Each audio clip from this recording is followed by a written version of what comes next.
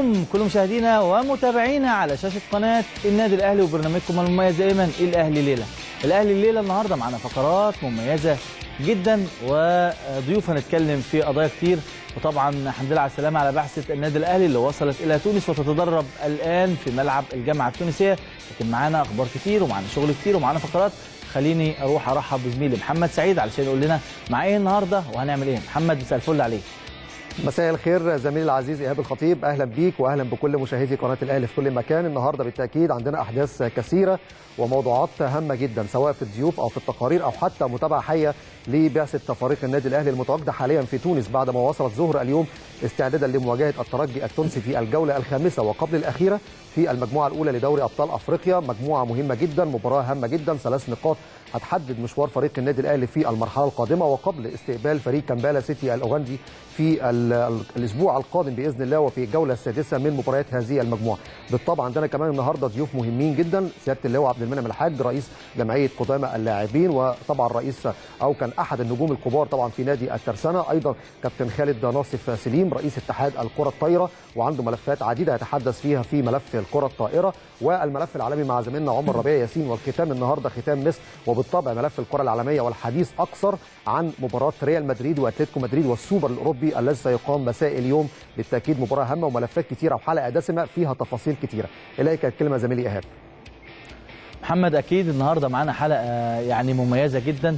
وانت طبعا زي ما قلت دايما عمر ربيع مسك الختام في فقرة الكرة العالمية المميزة لكن منتظرين إن شاء الله نكون موجودين في تونس في بعض الأخبار والأجواء. كابتن محمود الخطيب رئيس لبعثة النادي الأهلي وحط تحت دي ألف خط والصحف التونسية احتفاء غير عادي. بصراحة كل الشكر لجماهير الترجي. جماهير الترجي بينها وبين جماهير النادي الأهلي علاقة خاصة جدا. لما تلاقي عدد من جماهير الترجي كاتبة على الفيسبوك وكاتبة على مواقع التواصل الاجتماعي اللي, جما... اللي عايز يجي يحضر الماتش اللي, اللي, اللي, اللي هيجي تونس ينزل عندي في البيت يبقى موجود. دي روح لما نلاقيها بين جماهيرين عربيين كبار زي جماهير الترجي وجماهير الأهلي والمعاملة بالمثل بالظبط وأفضل من الطرف ده ومن الطرف ده حاجة كويسة جدا. اتفاق كبير من الإعلام التونسي يا سعيد. يعني عناوين الصحف مثلا كاتبة يعني رادس عاصمة الأهلي المواجهات الأخيرة لصالح النادي الأهلي. مباراة مهمة جدا ومباراة عنق زجاجة لكن الأهلي يقدر يا محمد.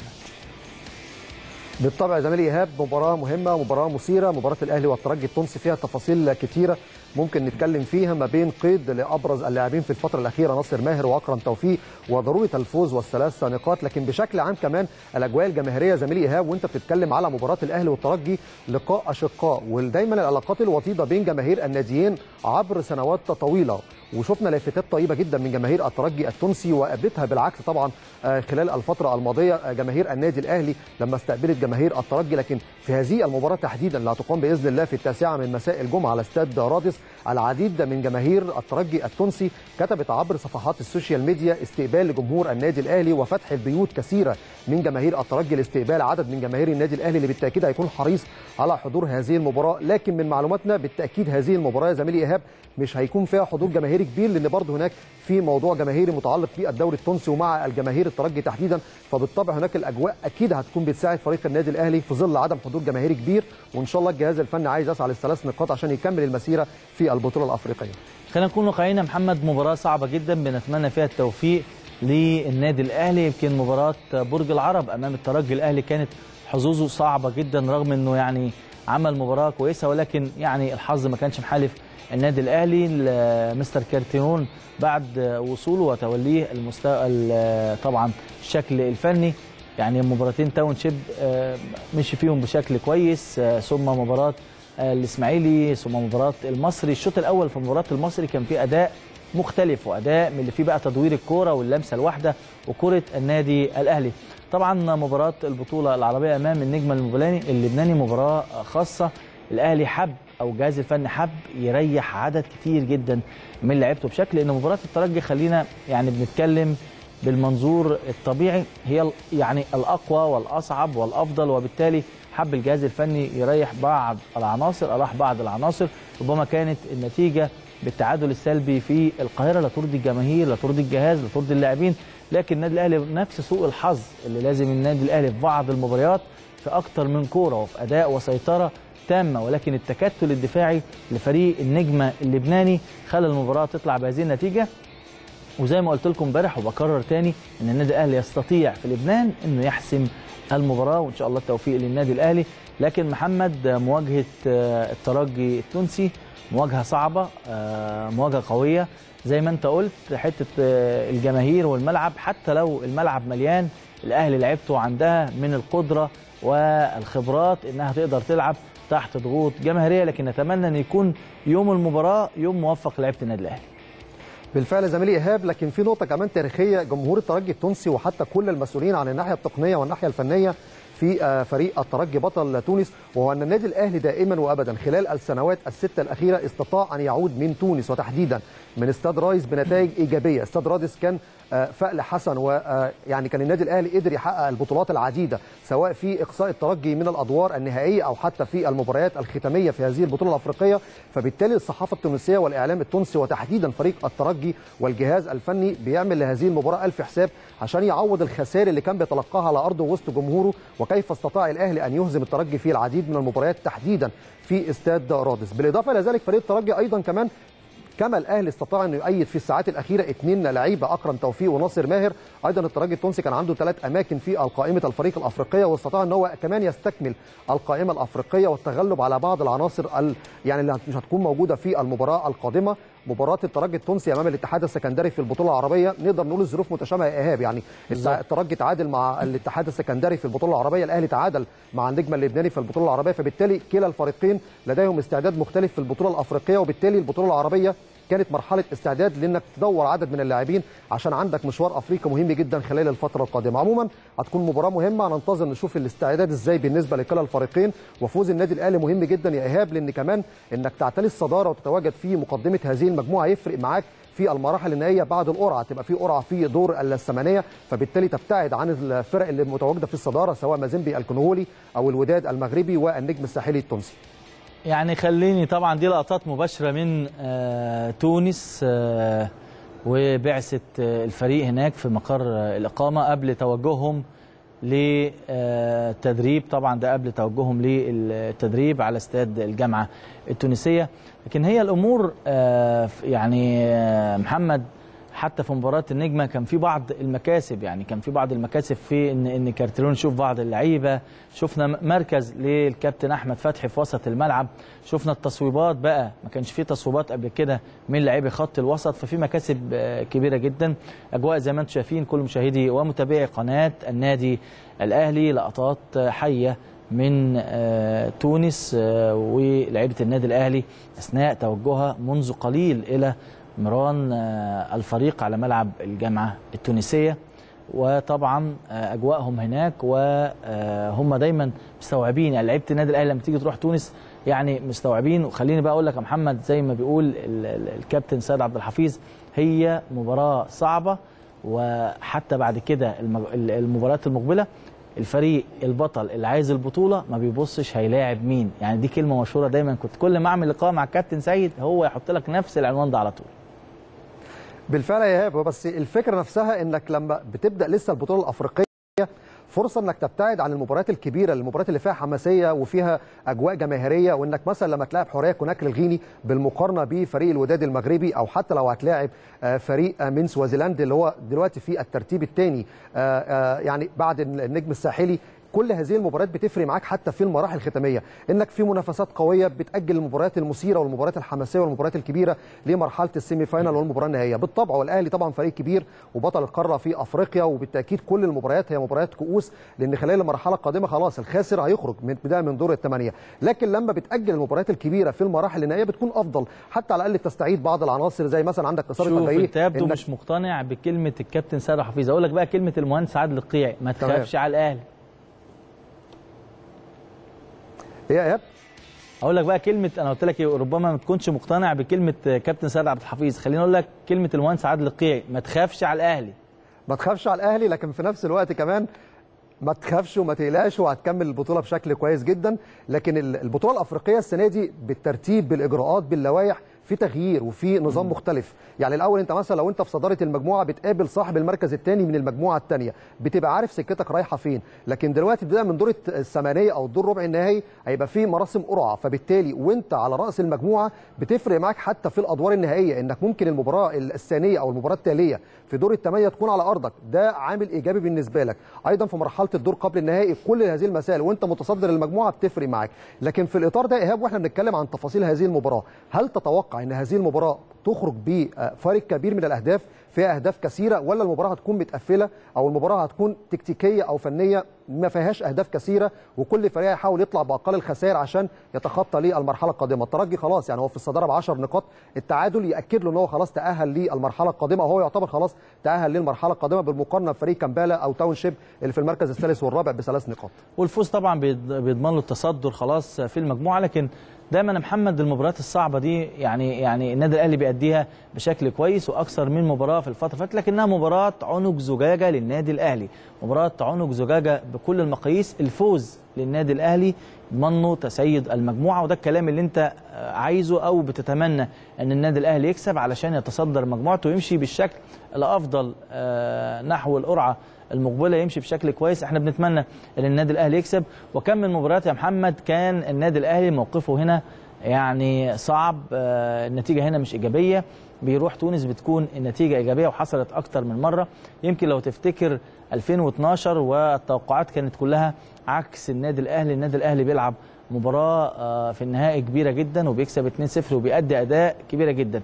دايما أقول لك أو دايما نتكلم في إيه يا محمد؟ في إن يوم المباراة أنت يوم المباراة عامل إزاي؟ اللعيب بتاعك عامل إزاي؟ خط سير المباراة عامل إزاي؟ وطبعا بعيدا عن قصة الصفارة.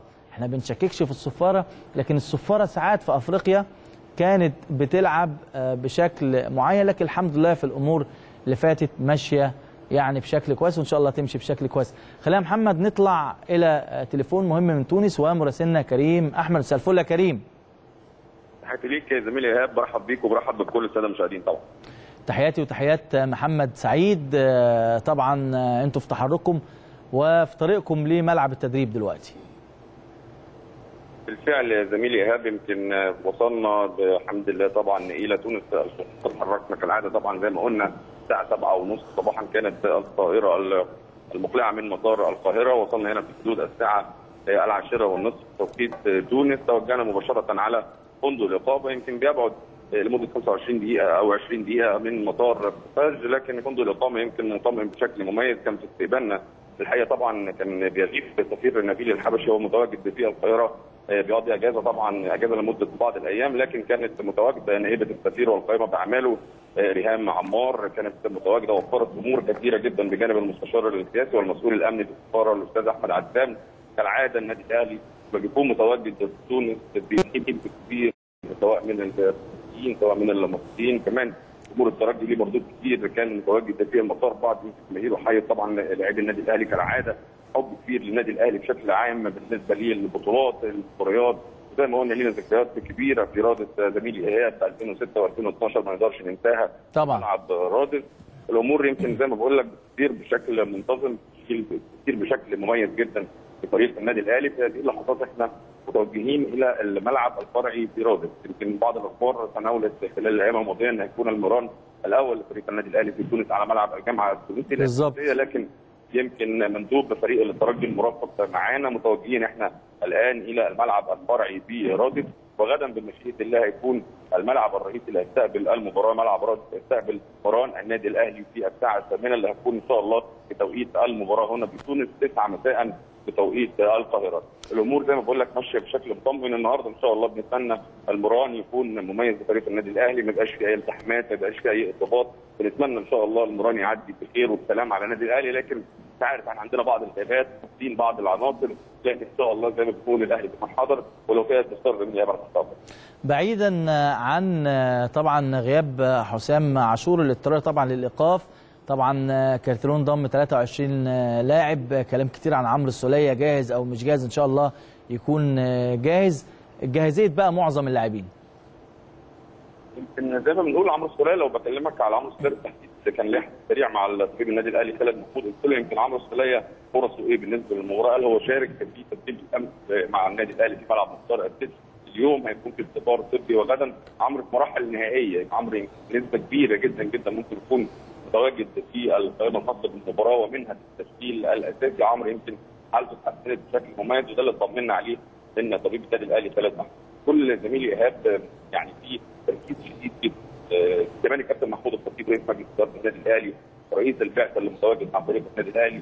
دي ليها مردود كبير ولاعيبه النادي. الأهلي عارفين عندنا كبيره لأن الدفعة المعنوية والروح الكبيرة بحجم قيمه الكابتن محمود الخطيب يكون متواجد في هذه المباراة مباراة هامة للنادي الأهلي. لها مردود كبير وده اللي وده بيعكس يا كريم بيعكس أهمية المباراة وأهمية الفوز وتحقيق نقاط المباراة.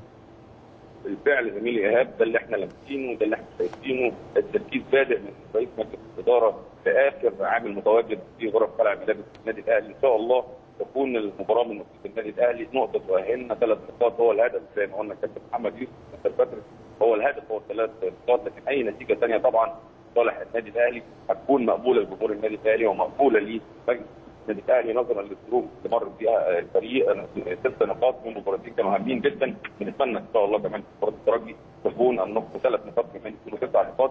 ونمشي نصحح المسار بشكل مميز جدا في البطولة الأفريقية زميلي كريم علاقة طيبة جدا بين جماهير الترجي وجماهير النادي الأهلي.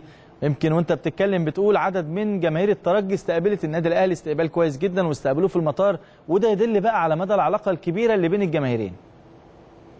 حقيقة زميلي إيهاب وأنت انت أكثر الناس خبرة ومتواجد في تونس شخصيات مباريات كثيره جدا وتعلم جيدا. مدى حب جمهور الترجي للنادي الأهلي وحب جمهور النادي الأهلي لجمهور الترجي. فريقين كبار فريقين عظام.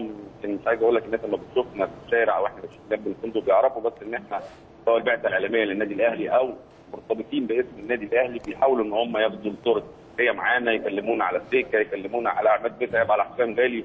أنت عارف طبعا رموزنا ونجومنا طبعاً. هنا ليهم تاثير كبير جدا عند جمهور تونس وبالاخص جمهور الترجي. لا العلاقة طيبة جدا ودي الحاجة المميزة الحاجة السعيدة الحاجة اللي بتخلي كمان النادي الأهلي ولاعيبه النادي الأهلي يشيلوا هم الجمهور ده على جنب خالص لأن النادي الأهلي حقق انتصارات رائعة جدا تراضي حضور أكثر من 60000 متفرج. فمهما كان الجمهور اللي كان متواجد في مباراة الترجي القادمة إن شاء الله ثقتنا كبيرة في لعيبه النادي الأهلي. ونعود بإذن الله منتصرين ونعود معانا ثلاث نقاط هامين جدا في. كريم أكيد لاعبي النادي الأهلي كانت يعني يعني بعد التعادل مع النجم أمورهم ما كانتش كويسة. كان في بعض الحزن شوية. لكن دايما الصفحة بتتقفل وبقى التركيز في المباراة الأهم وهي مباراة الترجي. بالفعل زميلي ايهاب يمكن في فصل تاني. آه ولعيبة النادي الأهلي فصل بشكل كبير جدا عن البطولة الأفريقية اللي هتودينا إن شاء الله للبطولة العالمية بطولة كأس العالم وبين البطولة العربية، النادي الأهلي كان قبله سوء توفيق كتير أهدر فرص كثيره جدا في البطولة العربية وفي مباراة النجمة بالتحديد. وعايز اكد لك إن مستر فتره محمد يوسف كان تاثير كبير على لعيبة النادي الأهلي. بعدم اهدار الفرص خلال المباراة. مباراة الترجي لابد استغلال أنصاف الفرص في هذه المباراة. في تركيز كبير زميلي ايهاب وزي ما بقول لك حاجة لمسنها على أرض الواقع لمسنها منذ وصولنا إلى مطار تونس. زي ما بقول لك إن شاء الله المباراة دي مباراة هامة مباراة مصريه بالنسبة للنادي الأهلي. وكل التوفيق من جديد للنادي الأهلي زميلي ايهاب هذه كل التوفيق لفريق النادي الأهلي. طبعا آه، هتتابع أنت معاهم المران يا كريم وهنتواصل معاك في الاهلي الليلة دائما آه، وأنت متابع المران وإن شاء الله نتابع ونطمئن على التدريب الأول لبعثة النادي الأهلي في تونس على الملعب الفرعي لاستاد رادس شكرا كريم. طبعا آه، كلام محترم جدا وكلام آه، مهم في الأجواء دلوقتي ويعني واللقطات الحية اللي إحنا شايفينها قدامنا اهي أعتقد آه، زميلي محمد سعيد الأمور ماشية بشكل كويس. آه، الاستقبال والاستعداد آه، بشكل رائع جدا. في اهتمام كبير جدا من المسؤولين التوانسة. كمان زي ما اتكلمنا وقلنا إن الجمهور التونسي بيعامل النادي الأهلي معاملة خاصة جدا وفي علاقة فريدة بين جماهير النادي الأهلي وجماهير الترجي يا محمد. بالفعل زميلي إيهاب يمكن كما ذكرت وكما ذكر زميلنا كريم أحمد من تونس عن التفاصيل الخاصة باستقبال فريق النادي الأهلي. الاستقبال طيب والاستقبال رائع. ويمكن زميلي إيهاب أنت حضرت العديد من العديد من المباريات وكان دايما كلها الحمد لله مباريات فيها انتصارات والأهلي عاد بانتصار سواء في الأدوار الأولى أو حتى في المباريات النهائية. آه، شفت الاستقبال إزاي هناك من الإخوة التوانسة حتى على المستوى الصحفي أو على المستوى الإعلامي. بتلاقي هناك في استقبال رائع جدا واستقبال مميز. وخلال فترات سابقة يمكن حتى أنت زميلي إيهاب شاركت حتى في بث مشترك مع الإخوة الإعلاميين في تونس في طبعاً. المباريات الختامية ومباريات الأهلي والترجي التونسي. وكيف كانت هناك استعدادات وسهرات خاصة في هذه المباريات؟ مباريات كبيرة يعني. مباراة الأهلي والترجي في دور المجموعات هي بمثابه نهائي مبكر. وبالتالي هذه المباراة وأنت رايح تونس وعايز تكسب الترجي اذا هي مباراة الصدارة ومباراة زعامة هذه المجموعة. لكن يبقى السؤال زميلي إيهاب سفر الكابتن محمود الخطيب أعتقد رسالة هامة جدا للاعبين تحديدا عن أهمية هذه المباراة وإنها هتكون انطلاقة كبيرة جدا للفريق في المرحلة القادمة. وأعتقد سفره كمان في التوقيت ده كرئيس للبعثة بعد التعادل أمام النجم اللبناني عايز يوصل رسالة إن إحنا عندنا بطولة مهمة لازم نكسب ولازم يكون في دوافع كتيرة خلال الفترة القادمة يا إيهاب. طبعا يا محمد دي يعني وجود الكابتن محمود الخطيب رئيس البعثة دي أقصى درجات الاستعداد. يعني بص دي الحالة زي ما بيسموها يعني الحالة القصوى وده شفناها كتير مع آه، مجالس إدارات النادي الأهلي دايما عبر المجالس المتعاقبة في المباريات المهمة. بيكون رئيس مجلس الإدارة أو رئيس النادي هو اللي موجود مع البعثه لكن فعلا مباراة مهمة جدا مباراة عنق زجاجة مباراة آه، مباراة كؤوس. وادي قدامنا لحظة وصول الكابتن محمود الخطيب طبعا آه، للمطار واستقبال السفارة وأعضاء السفارة للكابتن محمود الخطيب وروح التفاؤل واضحة على ال- الكابتن واللاعبين أثناء آه، الوصول. إن شاء الله إن شاء الله النادي الأهلي قادر يتخطى هذه المرحلة وهذه المباراة. يمكن الكابتن محمد يوسف واحد آه، من اللي ليهم بقى آه، باع طويل في هذه المباريات وبرده كان من أصحاب الفوز باللقب على الأراضي التونسية والأجواء دي. النادي الأهلي عاشها كتير وشافها كتير والضغوط دي النادي الأهلي اتحط قدامها كتير. لكن بكرر تاني أتمنى إن تكون الساعات اللي جاية ويوم المباراة ماشي بالشكل إن شاء الله اللي يحقق الراحة والتقدم والفوز للنادي الأهلي. محمد أجواء طبعا وأنت كنت موجود في تونس أكتر من مرة. أجواء تونس آه، يعني تونس الخضراء مش جديدة علينا ودايما كنا بنتواجد وبنروح سواء أنا أو أنت. كنا دايما بننقل من هناك. هي نفس الأجواء هي نفس الاستقبال هي آه، نفس الصورة. دايما المحترمة اللي بنقولها عن تونس وعن الجماهير التونسية. بالفعل زميلي إيهاب الأجواء هناك أجواء مميزة جدا ودرجة الحرارة والأجواء والكواليس قريبة جدا من أجواء القاهرة أو حتى الإسكندرية لما الأهلي كان بيسافر في سواء في معسكر أو حتى مباراة في استاد برج العرب. الاستقبال هناك استقبال مميز. حتى يعني لما كان مثلا كابتن محمد يوسف عندما تولى منصب مدير الكرة أو حتى في السابق لما كان الكابتن سند الحفيظ مدير الكرة كان في دايما تواصل مع كابتن رياض بن نور. وبالتأكيد أنت عارف طبعا, طبعاً. كابتن رياض بن نور مدير الكرة في نادي الترجي التونسي دايما على تواصل لدرجة حتى وصلت إن العلاقات أصبحت بين مسؤولي الناديين أو حتى بين مسؤولي جهاز الكرة في الأهلي والترجي أصبحت علاقات وتواصل أسري وتواصل عائلي. يعني كابتن رياض بن نور عندما جاء في المباراة الأولى التي أقيمت في برج العرب قبل شهرين من الآن كان في تواصل بينه وبين الكابتن سيد والكابتن سيد حتى في تصريحاته قال التواصل مستمر بيننا دايما وحتى في تواصل أسري وعائلي وأصبحت مباريات الأهلي والترجي تقام وكأنها مباريات في الدوري المصري في علاقات متميزة جدا بين الجانبين. لكن بشكل عام يعني الناس ممكن تقارن كناحية فنية إيهاب بين المباراة الأولى اللي الأهلي بدأ بها مشواره مع الترجي وتعادل فيها سلبيا في استاد برج العرب وهذه المباراة. ترى أن هناك اختلاف نسبي أو اختلاف جذري عن هذه المباراة في ظل إن كمان إن سبعة أو ثمان لاعبين في التشكيلة الأساسية اللي لعبوا المباراة الأولى مش موجودين في المباراة القادمة اللي بإذن الله تقام في التاسعة من مساء الجمعة على استاد رادس. خلينا محمد آه، المقارنات الفنية كتيرة جدا بين آه، الفرق لكن أنا بقول لك كل مباراة بتبقى منفصلة يوم المباراة بيختلف الاستعداد للمباراة بيختلف ظروف كل مباراة من يوم ليوم بتختلف. يعني إذا دخلنا في بعض المقارنات زي بعض المحللين لما يتكلموا الترجي برضو آه، يعني فرقة آه، الاتحاد كان واخد آه، خماسية في الدوري واستطاع إنه يتعادل معاهم فبالتالي تقدر تعمل حاجة مع الاتحاد. لولا حظك السيء في مباراة برج العرب كان ممكن تكسب الترجي. لكن كل الكلام ده خلاص ماضي. الكلام الحاضر هي مواجهة واحدة هي 90 دقيقة. 90 دقيقة بتحتمل حاجات كتير جدا. المنافس المحترم الترجي التونسي شايفك بالظبط وانت شايفه. كل كلا الفريقين كتاب مفتوح. كل واحد شايف التاني كويس قوي. النادي الأهلي شايف مباريات الترجي مع باقي فرق المجموعة في آه، بطولة أفريقيا. النادي الترجي شايف الأهلي في نفس الجو شايف له مباراتين تاون شيب شايف له آه، مواجهة الإسماعيلي شايف له مواجهة المصري في في في الدوري المصري. كذلك النادي الأهلي شايف وكان في آه، بعض أعضاء الجهاز الفني متواجدين في مباراة الاتحاد والترجي. فالفرقتين كتاب مفتوح يا محمد والفرقتين باينين قدام بعض. يبقى يوم المباراة والتوفيق والأداء وظروف المباراة. زي ما أنت عارف بتبقى في بعض الظروف إن شاء الله ما نتمناش تكون موجودة بتبقى آه، ساعات مغيرة للموقف لكن كل الأجواء اللي إحنا شايفينها حتى الآن إن شاء الله تبشر بخروج مباراة كويسة. مهم إن المباراة تخرج بشكل كويس إن شاء الله ويستطيع فيها النادي الأهلي تحقيق ما اراد يا محمد.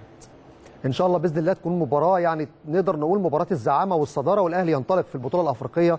بشكل مختلف خاصة إن خلاص أنت دخلت في الأجواء الأفريقية والقائمة آه، يعني خلاص تم الانتهاء من القيد بشكل عام ل 30 لاعب وأصبحت القائمة الآن خلاص مكتملة بكل اللاعبين. وأعتقد خلال المباراة القادمة الظروف كلها مهيئة إن النادي الأهلي إن شاء الله يحقق مكسب مهم في ظل عودة بقى عدد من اللاعبين. كنت افتقدتهم في المباراة الأولى في برج العرب أبرزهم بالطبع وليد أزارو مهاجم فريق النادي الأهلي. لكن وإحنا بنتكلم عن الكتب والتاريخ والمباريات والأرشيفات وحاجات كثيرة جدا متعلقة بهذه المباريات الكبيرة جدا. النهارده وإحنا بنتكلم عن ذكرى جديدة ذكرى مباراة كأس مصر والأهلي فاز بمباراة كأس مصر على المصري. هدف مميز جدا لأحمد فتحي. كان هدف التعادل وعمرو جمال بالتأكيد كان من اللعيبة المميزة. وهذان الهدفين كان لهم دور كبير جدا ان الاهلي يفوز بكأس مصر في مباراة كانت ماراثونية أقيمت على مدار 120 دقيقة في استاد برج العرب في نهائي الكأس. كانت مباراة ماراثونية. النهارده الذكرى الأولى لهذه المباراة وعبر صفحات ال social media الكل فتح كتاب التاريخ واتكلم عن هذه المباراة. لكن نخرج لهذا التقرير نشوف التقرير بيتكلم عن المباراة إزاي وهذه الذكرى الأولى لمباراة كأس مصر وكيف استطاع النادي الأهلي في اللحظات الأخيرة مش plus 90 لا plus 120 انه يحقق الكأس ويفوز بعدما كان خاسرا بهدف مقابل لا شيء.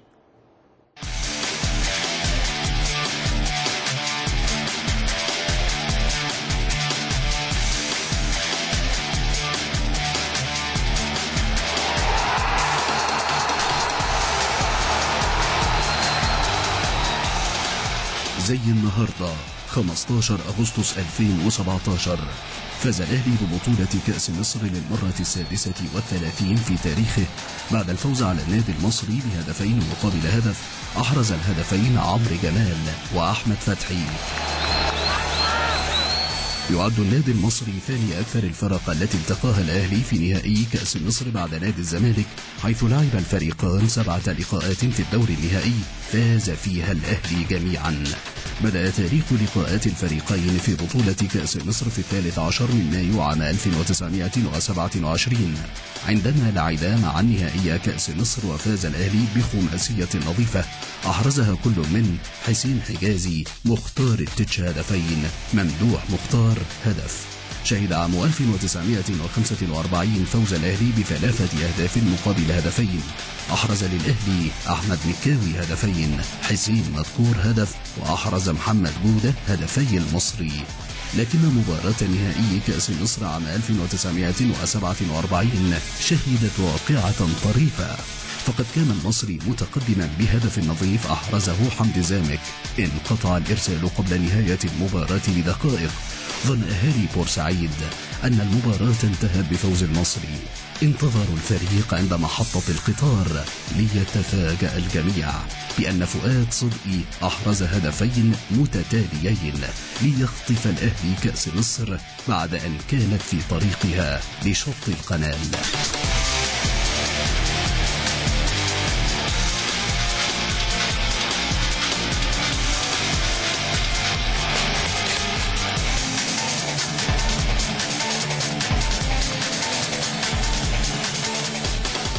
تجددت لقاءات الفريقين في نهائي الكأس في عام 1983 ليفوز الأهلي بهدف خالد جد الله.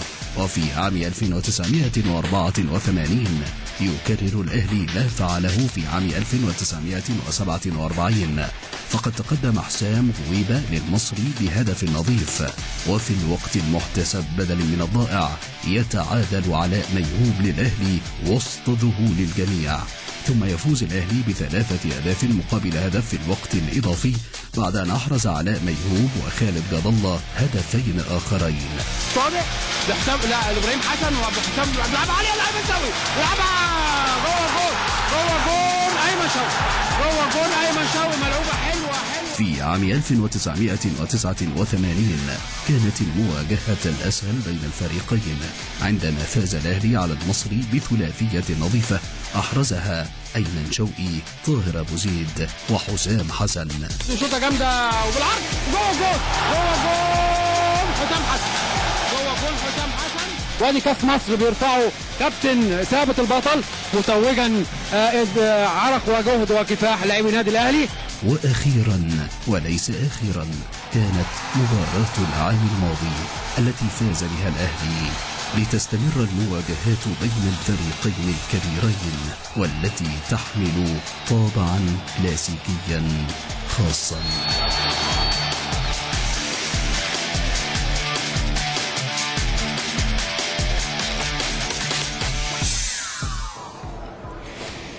أهلا بكم من جديد وزي ما سمعتوا وشفتوا في هذا التقرير ذكرى نهائي كأس مصر وأيضا ذكرى النهائيات بشكل عام ما بين مباريات الأهلي والمصري كانت مباريات مثيرة استطاع طبعا النادي الأهلي وأبناء الفانيلا الحمراء إن هم يحرزوا ويعني يحصدوا العديد من البطولات سواء في مباريات الكأس أو مباريات الدوري. هدف الكابتن علاء ميهوب من الأهداف المثيرة اللي كانت محفورة وستظل محفورة في التاريخ بالنسبة لهذه المباريات الكبيرة. وأيضا نهائي كأس مصر الأخير وفوز الأهلي في اللحظات الأخيرة. وكيف استطاع النادي الأهلي أن يفوز بهذا الكأس بعد ماراثون 120 دقيقة وكان خاسرا بهدف مقابل لا شيء. لكن بدايتنا وحلقتنا خلال هذا اليوم بشكل مختلف. ضيوف مختلفة عندنا تفاصيل كتيرة لكن أروح بسرعة لزميلي إيهاب الخطيب لاستقبال الفقرة الأولى وأولى آه، اللقاءات وأولى ال- الضيوف الحوارية والفقرة المهمة جدا في بداية هذه الحلقة حلقة الأهلي الليلة. إليك الكلمة زميلي إيهاب. بالفعل يا محمد. يعني آه، فقرة هنبدأ بيها فقرة مهمة جدا. واحد آه، من نجوم كرة القدم المصرية في عصورها الذهبية واحد من الأسماء الكبيرة في عالم كرة القدم اللي هو عبد المنعم الحاج نجم نادي الترسانة التاريخي ورئيس نادي الترسانة الأسبق ورئيس جمعية قدامى اللاعبين في فقرة خاصة جدا. هنتكلم عن كواليس وهنتكلم عن ذكريات وهنتكلم كمان عن الحاضر وعودة الجماهير وهنتكلم عن أمور مهمة جدا بعد الفاصل.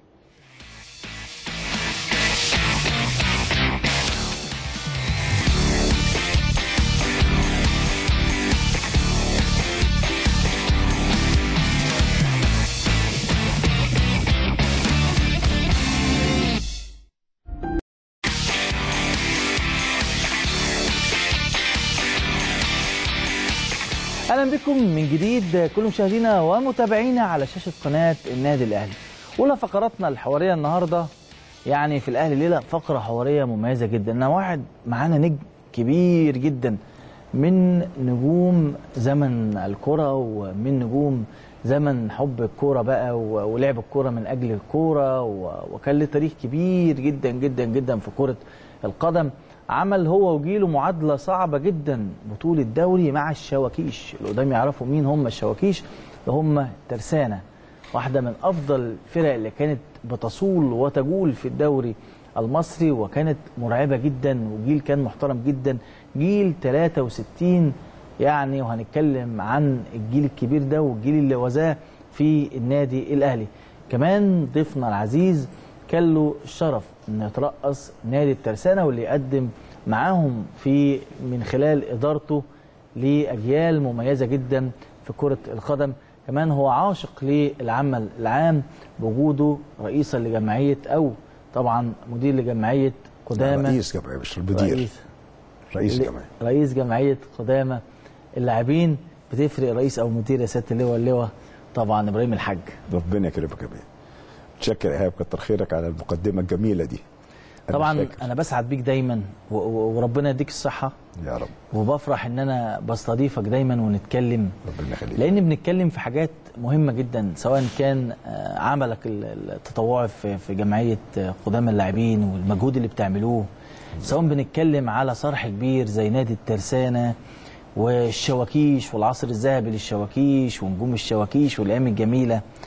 والأجيال بقى وإزاي كان الترابط بين اللعيبة وإزاي يعني دايما علمتونا وعلمتوا الأجيال اللي بعد كده حب بعض وحب الرياضة وممارسة رياضه من أجل الرياضة بعيد عن الجانب المادي اللي طغى في الفترة الأخيرة.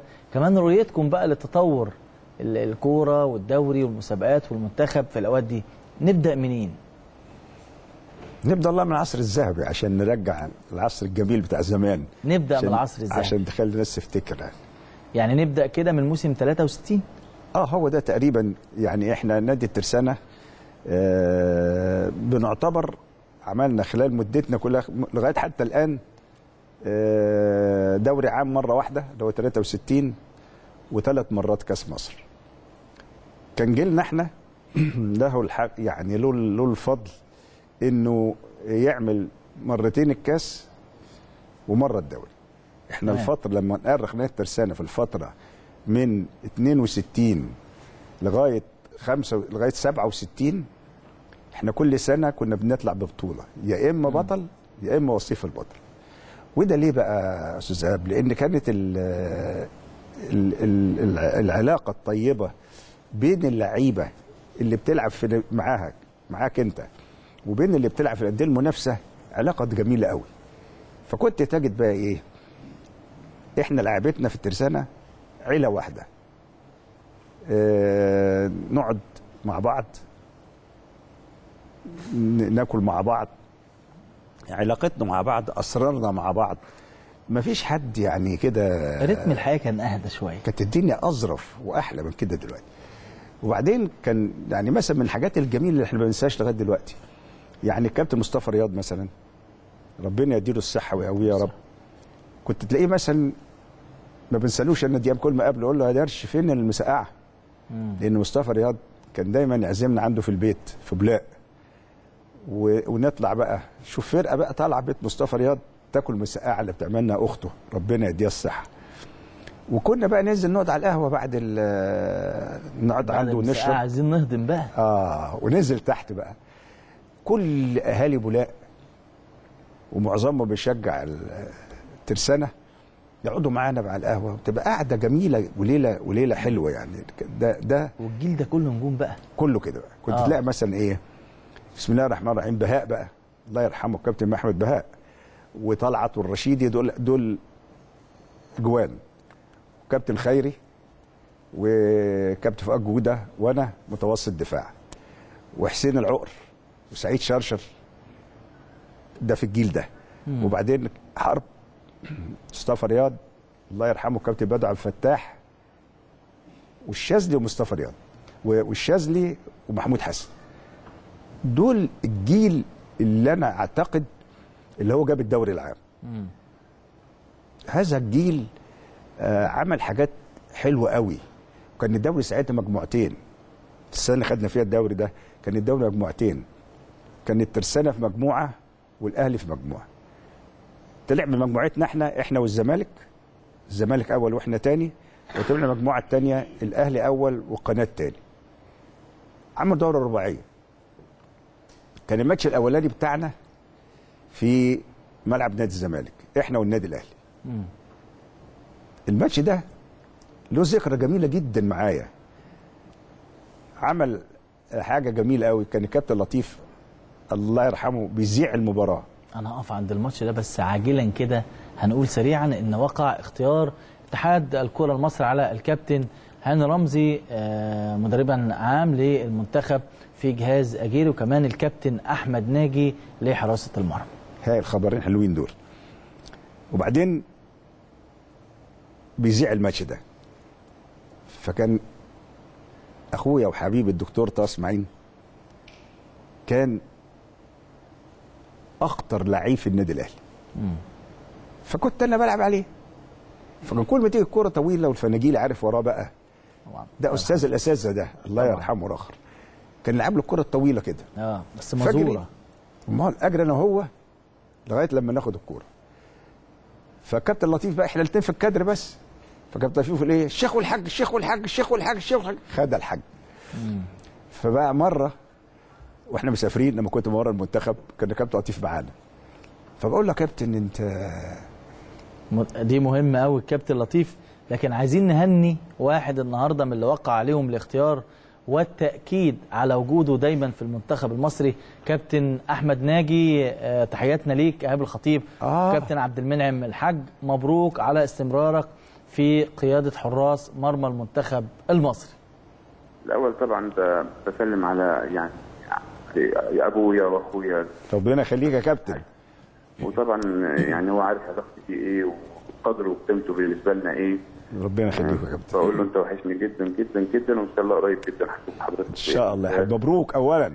الله يخليك. مبروك لمنتخب مصر مش مبروك لك أنت. لأن. المنتخب هو اللي استفاد من وجودك. بالعكس ده تكليف يعني مش تشريف ومسؤوليه كبيرة ربنا يعيننا عليها. ربنا يعينك عليها وأنت قدها إن شاء الله.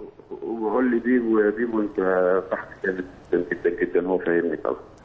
مبروك يا كابتن. يعني زي ما ال- يعني ال- كابتننا الكبير اللي هو المنعم الحاج بيقول لحضرتك دي ثقة كبيرة جدا ومبروك عليك ومبروك على المنتخب. وعندنا واحد مدرب حراس مرمى عالمي يا جماعة والله ما بقول كده. والله. يعني مدرب حراس مرمى عالمي اسمه أحمد ناجي تحط له مواصفات تحط له التفاصيل.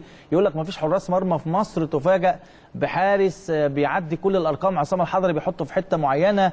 تبص فجأة تقول لك أصل الدنيا واقعة. تلاقي شيف اكرامي متألق. تبص فجأة يقول لك أصل أحمد الشناوي بتاع الزمالك هو ال ال الأسد. تبص فجأة تلاقي الشناوي الأهلي هو اللي واقف في كأس العالم.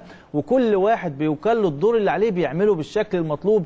عايز أهنيك على استمرار أجيال مصر ومحافظتك عليها وكمان إن شاء الله يعني بنأمل الأفضل يا كابتن في الفترة الجاية ونشوف حراس كتير ونشوف ازدهار واستمرار للمسيره اللي قدمتها الفترة اللي فاتت وإن شاء الله القادم أفضل يا كابتن. آه، كمان عايز أقول لاخواتي اللي كانوا مرشحين معايا المنافسين آه، يعني مش عايز أقول إخواتي وإخواتي الصغيرين و... وعلاقتي بيهم علاقة وطيده جدا. إن شاء الله الفرص جاية كتير.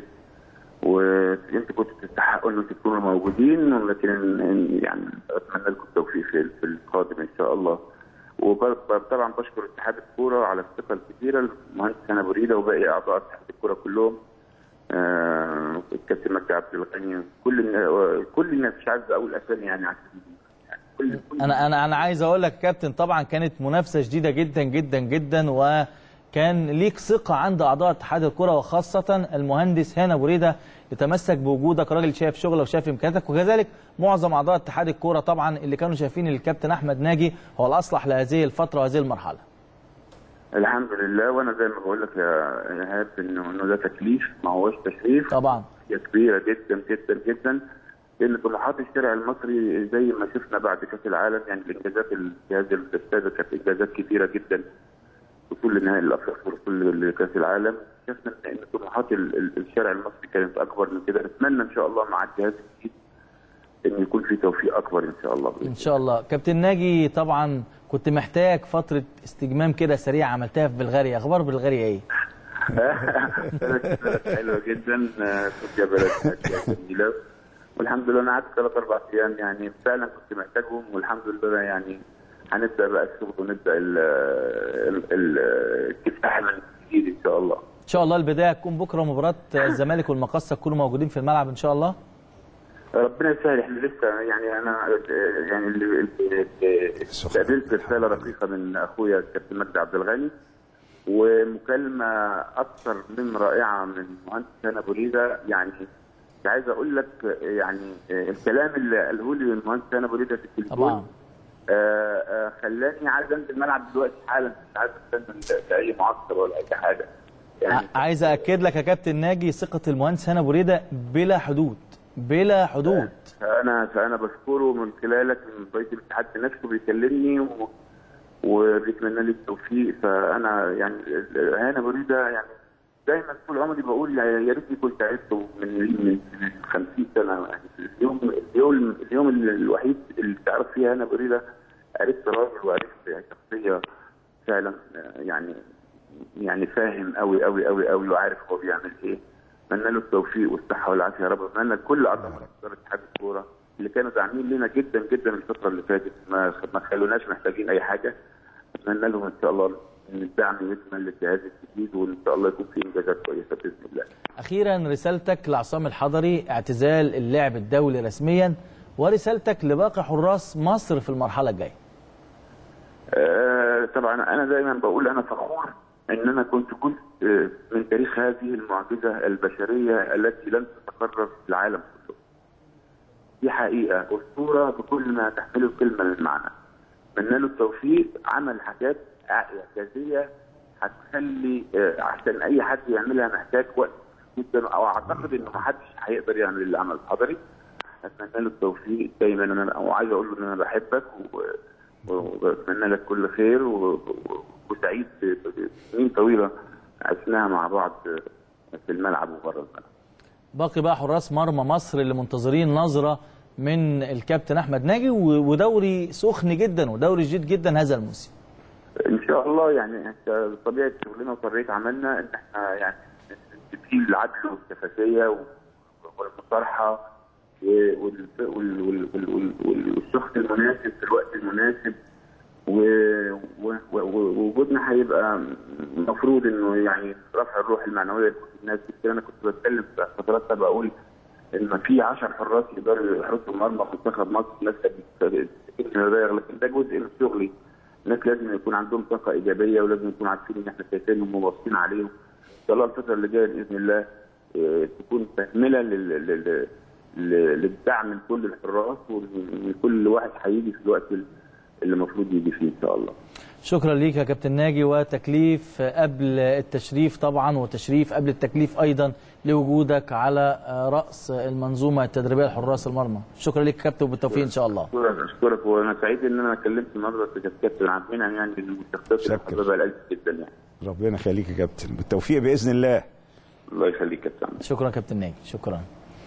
أحسن مفاجأة النهارده آه يعني دي أحسن من الحلقة كلها إن إحنا وجودك آه، يعني هنا بصراحة آه، ربنا سيبقى الأفضل. طبعا وده من ذوقك واحترامك ربنا يخليك كابتن أحمد. ناجي من الشخصيات اللذيذة. والشخصيات الجميلة والرائعة وراجل متطور جدا في أدائه وفي وجوده وعشان تقارنه مع احترامي كل مدربين حراس المرمى. مميزين عشان تقارنه بمدرب حراس مرمى موجود في مصر في جاب كبير جدا بين المستوى الفني والتدريبي للكابتن أحمد ناجي وخبراته الطويلة وبين بقية زمايله وأصدقائه وزملائه من مدربي حراس المرمى هو بقى ده بقى أنا عايز أقول لك حاجة يعني في المدربين نوعين في مدرب موظف مم. وفي مدرب مطلع. المدرب التاني ده الموظف ده عايز شهادة ويشتغل فرقه ويمشي ويمشي ويعيش. إنما أحمد من النوع التاني اللي هو بيقرأ وبيطلع وبيشوف وبيتطور يبقى دايما هو في مهنته عالي. فعشان كده أنا بطالب أي مدرب بيشتغل في مهنة التدريب وأنا كنت أحدهم إن حتى اليوم أنا عندي اتصال في لافبرا في إنجلترا بيبعتوا لي ال ال ال ال المكاتبات اللي بتطلع آه. عندهم. آخر التطوير والتحديث. ليه؟ لأن رحت خدت عندهم دورات وكده فالناس بقت إيه علاقتك بيهم عرفوا إنك أنت عايز آه. تثقف نفسك. فبيبعتوا لك ال- المطبوعات اللي عندهم. أيضا أحمد ناجي كده أحمد ناجي بيقرأ كتير قوي وبيجيب بيشوف بره في إيه وبيعمل إيه. فده أعتقد ان هو هيبقى سابق كتير فأتمنى له بإذن الله سبحانه وتعالى التوفيق. ولقطة رائعة جدا منكم انكم خليتونا كلمناه النهارده بعد صدور القرار. كان الكابتن هاني رمزي معايا موجود مكان حضرتك امبارح هنا. الله. و و ويمكن على مدار الحلقة ما اتكلمتش معاه خالص في المنتخب كان هو الأقرب فكان من الصعب إنك آه. تقول له المنتخب أو لعدم الإحراج قبلها ب 24 ساعة أو نقول تعال حاجة كده أو كده فبالتالي كان الحديث عن قطاع الناشئين والمنافسة العادية ولكنه أيضا من ال- ال- ال- ال- المدربين الكبار اللي يحتاج فرصة كويسة. اللي عنده سي في محترم جدا وإن كان هو مكسب للمنتخب المصري أكيد قطاع الناشئين في النادي الأهلي هيخسروا بشكل كبير كان حاطط استراتيجية كويسة جدا وكان بيتكلم في ورش عمل لتأهيل المدربين أيوة. لاستطاعتها لقيادة قطاع الناشئين في النادي الأهلي كابتن هاني رمزي من برضو المدربين اختيار الكبار. هيكون إضافة وهيدي شكل للمنتخب إن شاء الله. إن شاء الله. أتوقع بإذن الله هيبقى كده. وده شيء جميل إن شاء الله. نرجع بقى الحتة بتاعتنا الصغيرة بس بحكي لك عليها بتاعت الشيخ طه فبقول لكابتن لطيف وأنا جه معايا بقى بقول له كابتن أنت كل ما تقول تقول خد الحاج قال لي الله. ما أنا لازم أقول كده يا عم منعم قلت له طب ليه؟ قال لي ما أنت بتاخدها دي واحد. نمرة اتنين لو خدها طه بقت جوه الشبكه خلاص مش هنستناك انت بقى عشان تقول لي كده. ده ده بس شوف بقى انت بتتكلم على كابتن لطيف. يا سلام. بتتكلم على الشيخ طه وحضرتك والنجوم الكبار. يعني زمن المتعة كله. والله العظيم يا أستاذ ال- الجيل اللي بحكي لك عليه ده ما في وقت كنت ممكن تقعد المنافسين. يعني إحنا عبد الحميد شاهين الله يديله الصحة ويشفيه يا رب. جول نادي الزمالك قعدته كلها كانت عندنا في نادي ترسانة. صديقنا يقعد معانا ويتكلم ويلعب كل حاجة. أبو رجالة بيقول لي كنا بنلم نفسنا ونروح نزور لعيبة النادي الأهلي نقعد كده في آه. النادي ونقعد في كافيتيريا و... إحنا برجل ده مرة لما كان الكابتن حسام البدري مره النادي الأهلي وكان عنده آه نهائي بطولة أفريقيا. فإحنا كنا الجمعية. آه. فروحنا بقى نزور كابتن لعيبة النادي الأهلي قبل قبل المباراة يعني المباراة. ونشد ازرهم ونتكلم معاهم وبتاع. كان معانا كابتن أبو رجيل. زملكاوي. الفاكهة بقى. مش ممكن. الفاكهة ده. ربنا يديله الصحة. خلى اللعيبة يعني أي حد جاب بتبقى مشدود أنت عليه. مشدود طبعا. كابتن أبو رجيل خلى خلى العملية قاعدة ظريفة ده كده وحلوة. آه والله. والناس ضحكت واللي إحنا عايزينه وصلنا له إن إحنا شجعناهم وقفنا وياهم وكده وربنا كرمهم. ونجحوا وكسبوا البطولة ساعتها. فكابتن ابو رجيله ده فاكهة مش هتلاقيها. طبعا. يعني هو إيه دمه خفيف جدا ومعاملاته رائعة جدا وإنسان حنين مش قادر أقول لك قد إيه. يعني في الجمعية إحنا بنتعب. من من حنية يا كابتن ابو هذا رجيل الجماعه هنتكلم عليها كتير وهنتكلم على الذكريات لكن اسمح لي أطلع فاصل ونرجع يلا بينا. نتواصل. فاصل سريع لكل متابعينا ومشاهدينا على شاشة قناة الأهلي ونرجع نتواصل طبعا في آه، برنامجكم المميز دائما. ومعانا ضيف النهارده بصراحة يعني أنا بطلع كده بالعافية فاصل عشان عايز أرجع له بسرعة. فاصل ونتواصل في الأهلي الليلة.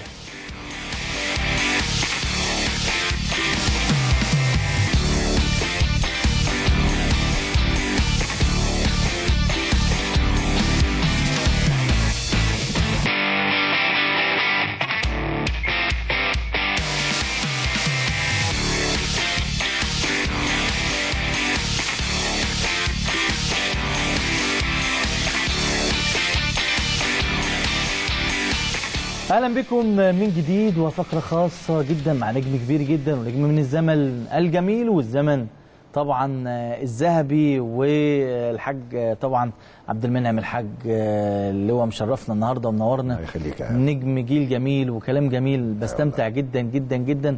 وعايزين نتكلم براحتنا بقى وبالراحة كده لأن كل الكلام اللي بتقوله بجد بجد كلام ممتع جدا. الحمد لله. وكلام كده بيوصل في رسائل لكل المشاهدين إن نفسهم يشوفوا الأجواء دي. إحنا ال- الد- الدوري زمان كانت الناس بت, بت نفس رف رغم المنافسة الشديدة في السنة إحنا خدنا فيها الدوري. هقول لك موقف طريف قوي عشان تعرف الجمهور كان جميل إزاي. عشان يا ريت الجماهير تاخد بالها من الكلام ده. إحنا كنا رايحين نلعب المحلة. والشواكيش كان ليه جمهور إيه؟ في كل حتة. أنا حسيتش ده غير بان أنا رئيس النادي. أحكي لك حكاية بس. فخدنا كان زمان أخص نركب العربية بتاعت. بتاعت مصر السياحة. فركبنا قدام نادي ترسانة وبنلف قدام نادي الزمالك كده عشان نرجع عشان نرجع نطلع بقى.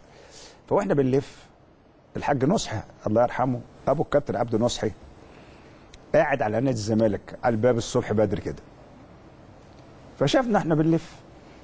فمصطفى رياض الله يمسيه بكل خير بقى بيصب عليه. بقول له صباح الخير يا حاج نصحي قام بص له كده. قال له مصطفى رياض نادي الترسانة. يا رب يجينا خبركم في 8 و5 يا شيخ. خبركم يعني إيه؟ أنت عارف بقى في الوقت ده كان الله يديله الصحة.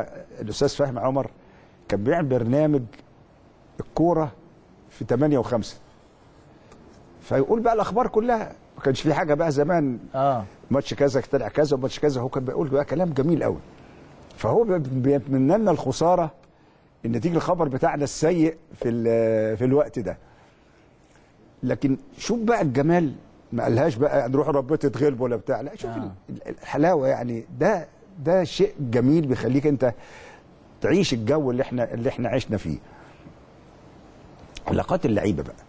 آه موسم 63 ما أنا جاي مباراه حاج... رباعية وإحنا عشان واقفين في الحتة دي ما كملناهاش. إحنا بقى الماتشات دي. إحنا الماتش الأولاني إحنا إحنا كان في معادلة بتتعمل في في في في الكورة في الوقت ده. تمام. الترسانة تغلب الأهلي والأهلي بيغلب الزمالك والزمالك يغلب الترسانة. ففي الآخر نطلع كلنا كيت امم 2 2 2 خلاص ما فيش كانت النقطه المكسب بنقطتين. بنقطتين. السنة دي بقى إحنا كسبنا الأهلي. والأهلي كسب الزمالك. وإحنا هنلاعب الزمالك. لو كسبت الزمالك خلاص. هو بقى في عرف الزمالك إيه اللي بيكسب؟ هو بيكسبه. تمام. كرة ماشية معاه عليك وحظه عالي عليك كعبه عالي عليك آه فرحنا نلعب بقى فين؟ في الاستاد. حماد أمام كان معايا في المدرسة. وع... وع... وع... وعلي محسن. فنزلنا رحنا راحوا جايبين جون. الزمالك. راح جايبين الجون الثاني كده المفروض المباراة خلصت. خلصت. فحماد امام راح جايين كده. قال لي أقول لك يا عبد المنعم بيني وبينه بقى. آه. قلت له خير يا حمادة. قال لي روح بقى اطلع قدام شوية أجيب لك جون ولا حاجة لحسن أنتوا خلاص كده شكلكم بقى وحش قوي. قلت له بقول لك إيه امشي لحسن أنت عارف هيحصل لك إيه. شوية والله يديله الصحة كابتن فؤاد جودة كان يتعور وبيلعب ما كانش فيه تغيير زمان. فكان هو بيلعب back شمال فطلعوه wing شمال. يقوم فؤاد جودة وهو متعور كده يروح عامل الكرة كده تروح داخلة جون. آه. بقينا اتنين بواحد. قربت. كابتن حمدي عبد الفتاح يروح جايب طبعا حمدي فتاح ده نجم هجوم متوسط هجوم. مصر من الخمسينات لغاية أما إحنا حصلناها. حاجة ما حصلتش يعني. راح جاب الجون الثاني طلعنا إيه؟ اتنين باتنين. 2 ب 2 كسبنا إحنا بقى. يتفضل إيه ماتشنا إحنا والقناة؟ هم ده الماتش الرابع. هم لنا أربع فرق. تمام. رحنا نلعب القناة في القناة. القناة برضو كانت فرقة شديدة. فرقة مش قادر أقول لك. آه وفيها نجوم كبار و... كابتن محمد عبد الله وعادل زين و- و- ولوفا فرقة جامدة جدا يعني. فرحنا كان في المحل المباراة. الله يرحمه عبد الحميد باسماعيل رئيس النادي. من كتر شدة الع- العصبي عليه ما قدرش يقعد في المدرج. هيجيب دوري بقى؟ والله ما بقى قادر عمال يلف كده في ال- الحتة دي. نزلنا وإحنا جايبين جول الشاذلي الله يرحمه. قعدنا نلعب. محافظين على الجون بشكل مش قادر أقول لك إزاي. وبعدين كرة جت ضربة جزاء. طلعت. الله يديله الصحة. كان هو الجون في الماتش ده. دخل الكابتن عادل زين. لعب ضربة الجزاء. طلعها. طلعت. كان فاضل حوالي 8 دقايق. حاجة كده. كابتن بقى فتح الراجل اللي ورا بقى. بس البدوي ده حاجة كبيرة. طبعا طبعا. وإحنا مظبطين الدفاع. أخطر واحد فيهم بدماغه مين؟ عادل زين. فأنا عيني كل الوقت على عادل زين. تحركات. لأن هو لو أي كرة اترفعت خلاص. فبقينا مركزين بقى على خيري. ما يخليش ال- ال wing الشمال يرفع. وعلى وجودة ما تخليش ال wing اليمين يرفع. ما هم هم دول اللي عملوا الشغل ده. وانت ماسك ال forward بقى وأنا ماسك ده. والله يا ايهاب أنا كل كورة كنت اطلع معاه فيها أنا هو. دماغنا تضرب في بعض وعضمنا يعمل إحنا الاثنين لأن ده إيه؟ أي فرصة هتلوح له جون. ثمان دقايق فاتوا علينا زي الثمان سنين. وبعدين الله يرحمه كابتن علي قنديل تيت خلص الماتش. شوف بقى الحلاوة؟ هم بيخسروا دوري. وإحنا كسبانين. هم اللي جم يهنونا ويبوسونا ويحضنونا ويقولوا لنا مبروك و... وخرجوا معانا من الأوضة زي زي ما يكونوا هم كسبانين. وصلونا لغاية أوضة اللبس بتاعت المحلة. وإحنا فرحانين وهم فرحانين. بشكل مش قادر أقول لك إزاي. فخرجنا. الحلاوة بقى إحنا كسبنا الدوري. خدنا كام بقى؟ مكافأة عشان الناس تعرف بس. خدنا 15 جنيه. لا بسم الله ما شاء الله. ده كان رقم جامد قوي. مكافأة الدوري العام كانت تعمل إيه ال 15 جنيه؟ جنيه دي؟ ها؟ يعني كانت تعمل إيه ال 15 جنيه؟ كتير قوي. تعمل كتير. كتير قوي. يعني يعني هي مكافأة فعلا كانت كبيرة. كبيرة طبعا في يعني الوقت 15 ده جنيه ده سنة آه. 63 كانت كبيرة. كبيرة. مش صغيرة يعني. تجيب إيه مثلا؟ ممكن تأجر عربية تقعد بيها يوم بحاله آه. تجيب كتير تجيب آه. تجيب هدوم وتجيب لبس وتجيب يعني في موظف كان بيقبض 15 جنيه في الشهر. امم شوف بقى ال 15 جنيه دول أجر موظف شهر كامل. شوف ده اعملوا معاه إيه يا ايهاب لعيب الكورة وقتها كان بياخد كام؟ لا كان ساعتها ما فيش احتراف كان فيه هواية.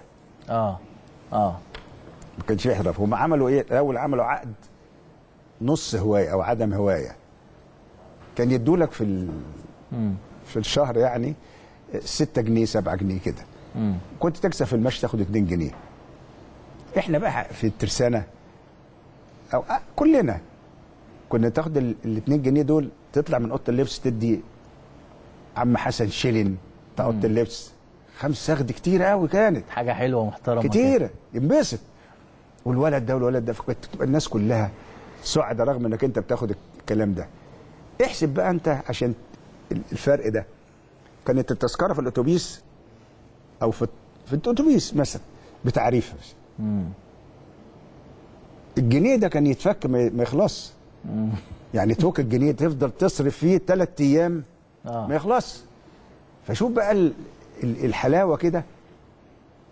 الجذبه مثلا هزيدك. من الحلاوة بيت وهستقبل تليفون مهم جدا لناقدنا الرياضي الكبير الأستاذ ماجد نوار آه، الله. تحياتي لحضرتك آه، إيهاب الخطيب وتحيات اللواء عبد المنعم الحاج مساء الخير ازيك يا كابتن إيهاب وحشني والله. طبعا اللواء عبد المنعم ده من الشخصيات اللي الواحد لن ينساها وربنا الله يخليك يا. كابتن ماجد يا أستاذ ماجد يا جميل. أنا فعلا مبسوط جدا لأن هو بيتكلم على أيام طبعا. آه، يعني آه، أيام ما كانت فيه الرياضة هي الرياضة.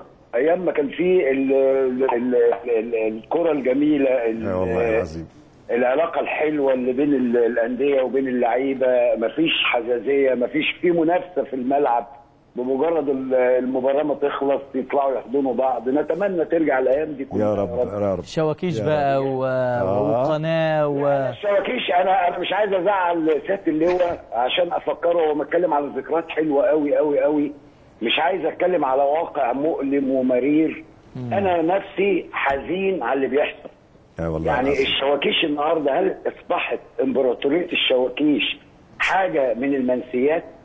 أو لن. تعود للدوري هتفضل آه، الناس الناس مش في شباب مش عارفين إن نادي الترسانة أو الشواكيش كان ثالث أكبر فريق في مصر من ناحية الجماهيرية. يعني كان أهلي زمالك ترسانة. الباقي الأندية في أندية أقاليم محافظات لكن بنتكلم على الأندية اللي ليها جماهيرية وليها شعبية آه، كبيرة. لما أنا أتفرج على الترسانة الشواكيش النهارده آه. بقالهم 10 سنين 11 سنة مش عارفين يطلعوا الدوري الممتاز أنا ما أعرفش أنا عايز أسمع رأي اللواء عبد المنعم الحاج وإزاي اللواء عبد المنعم الحاج وإزاي المجموعة ربنا يديهم الصحة كلهم المجموعة اللي, اللي, اللي أمتعتنا وهم إداريين وناس إداريين آه، طبعاً. الكرة المصرية أداروا اتحاد الكرة وأداروا نادي الترسانة وأداروا منتخب مصر. وأداروا منتخب مصر طبعا. مجموعة كبيرة منهم جدا. الحمد لله. إزاي سايبين النادي كده يا كابتن إيهاب بصراحة؟ يعني أنا نفسي أسمع رأي اللواء عبد المنعم في اللي بيحصل ده في نادي أقوله بعدين. بس باذن الله لأن دي مأساة رياضية. أنا بكلمك بصراحة والله أنا هو هو هو. هو بيقول لحضرتك هو هيقوله في خلال ال- الحلقة لأن يبدو إن حضرتك خدته في حتة قد يكون هو في التوقيت ده عايز يكمل ذكريات ويختم بقى بال ذكريات أصل أنا دي أحلى حاجة أحلى حاجة اللي هو بيتكلم على الذكريات دي يا إيهاب. أحلى حاجة هو بيتكلم على الذكريات. الأمر الواقع هنا اللي إحنا عايشينه ده عشان يبقى فيه بقى إيه أنا عارف السخن والبارد. يعني هو بيتكلم عن حياة جميلة. آه والله يا سيادة اللواء ما أنت عارف أنت خبير بقى وانت أنت من الناس اللي الوسط كله بيحبك يعني. الحمد لله. وأخلاق غير عادية. بكلمك بصراحة يا إيهاب يعني طبعا. وسام رياضة لوحده. يعني طبعاً. اللي يقول إن ال- ال- اللي هو عندنا اللي اللي يعتز بصداقته يعتبر نفسه خد وسام رياضة.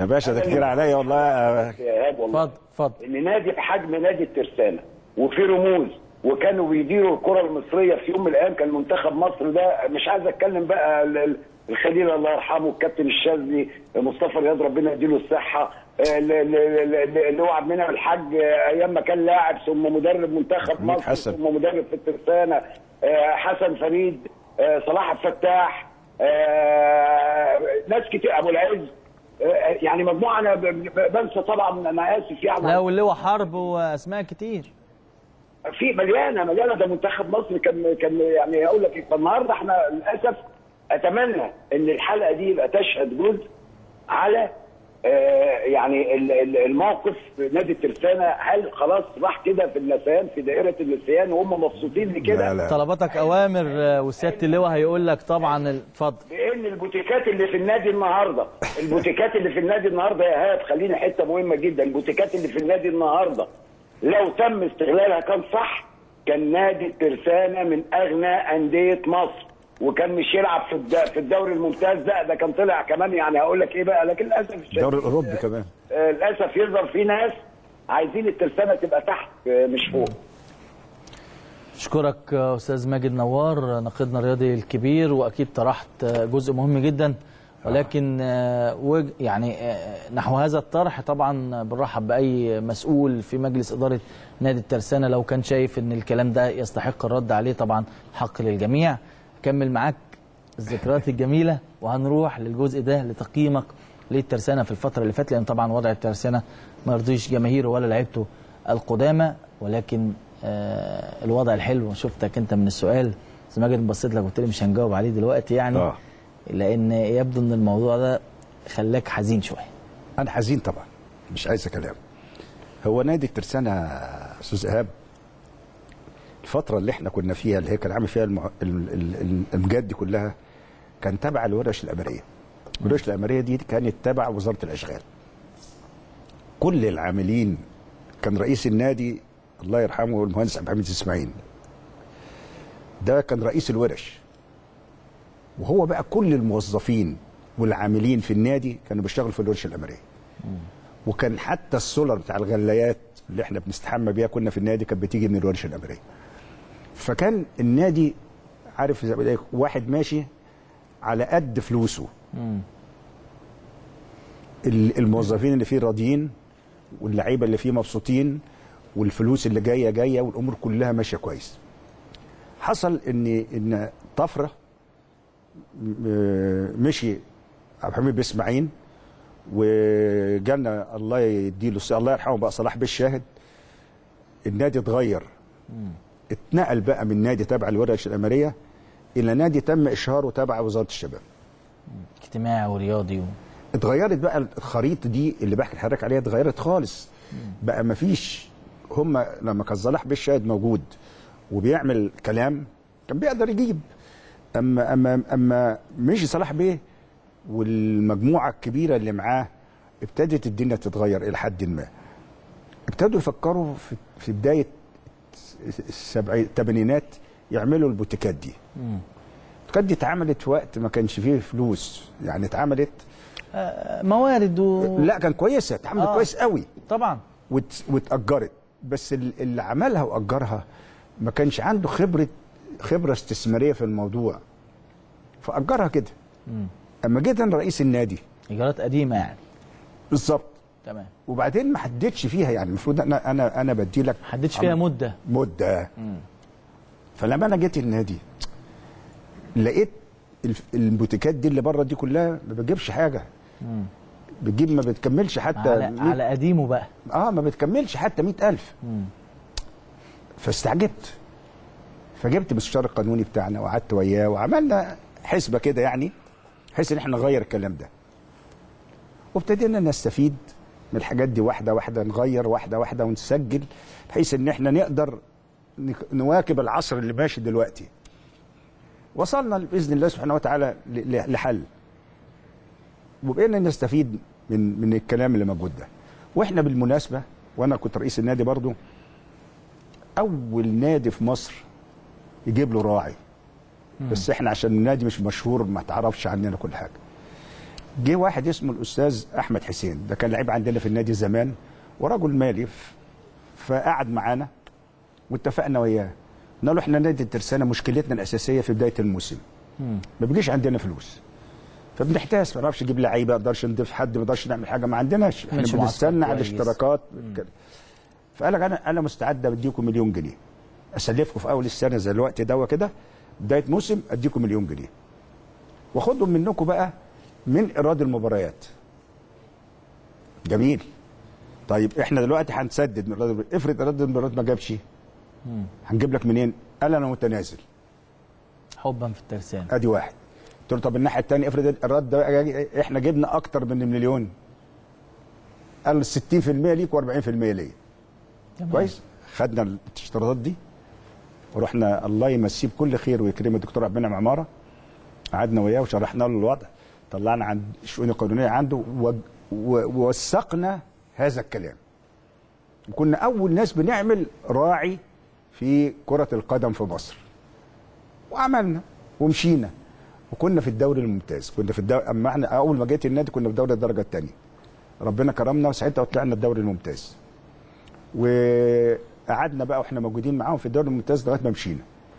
ال- اللي حصل بعد كده بقى إن الناس اللي جت بقى ال- الفكر مش آه، رغم إن حسن فريد يعتبر رجل استثماري رجل مالي يعني هو يعرف يمشي الفلوس إزاي ويعمل إيه وبتاع. لكن حصلت بقى ما أعرفش حصل إيه أنا كنت بعيد بقى عن النادي كنت سافرت بره بقى ما أعرفش ال- ال- ال- المشكلة دي حصلت إزاي. النادي بقى فجأة البوتيكات اللي إحنا كنا عاملينها والشروط اللي عاملينها باظت. والعملية بقت باظه بقى النادي ما فيهوش فلوس طالما ما فيش فلوس يبقى مش هتقدر تعمل حاجة. ده كلام مظبوط. طبعا في ظل ال- ال- مش هتقدر. طبعا. ما عندكش انت. مفيش موارد وأنا لما كنت حاجة. موجود رئيس النادي يا أستاذ إيهاب العلاقة الطيبة والاسم الكويس برضه بيجيب نتيجة. يعني أنت إيه؟ مثلا إحنا عايزين فلوس. أنا بشكر طبعا ال- ال- المهندس آه، أنديل وزير البترول في الوقت ده. أما عاوز حاجة أقول له كلمه وأروح أقابله وأتكلم معاه وأقول له أنا فلان الراجل ما بي- ما بيتأخرش كان علينا ابدا. وكتير قوي من من المسؤولين كنت بروح أقعد معاهم وأتكلم معاهم والناس كانت بتساعدنا مساعدة رائعة جدا. وده اللي كان مخلينا إيه قادرين نقعد في الدوري الممتاز ونتعامل مع الناس. إنما النادي الترساني بيمر حاليا بضائقه مالية شديدة جدا. محتاجة الناس تتكاتف معاه. وتساعده. إحنا بعيبوا علينا كلنا إن إحنا بره. دي رسالة مهمة جدا لكل عشاق الشواكيش والترسانة. ورسالة منك واضحة عشان الظروف طبعا أكيد معروفة والفترة اللي فاتت كان في مشاكل كتيرة في الترسانة. إحنا بنقول لكل واحد نادي ترسانة أهلا وسهلا. تابع معاه. بس إحنا أما بنخش الترسانة دلوقتي الناس بتفتكر إحنا عايزين مقرب. أو بنخش نادي الترسانة مثلا لينا مصلحة. إحنا ملناش مصلحة في نادي الترسانة. إحنا مصلحتنا نادي الترسانة يبقى هو بشكل كويس. بس. وإحنا مستعدين نساعد. يعني كلنا. الوحيد الفدائي اللي في نادي الترسانة دلوقتي الكابتن صلاح الفتاح. كابتن صلاح الفتاح ده فدائي. زي زي يعني أنا بشوفه بشوف عم محمود عبد الفتاح. عم محمود عبد الفتاح ده أبوه أبو صلاح وشاكر كان مراقب النادي بينا هو اللي ربانا. يعني أنا كانت متعتي ان أقعد معاه. عم محمود ده صلاح ده حتة منه.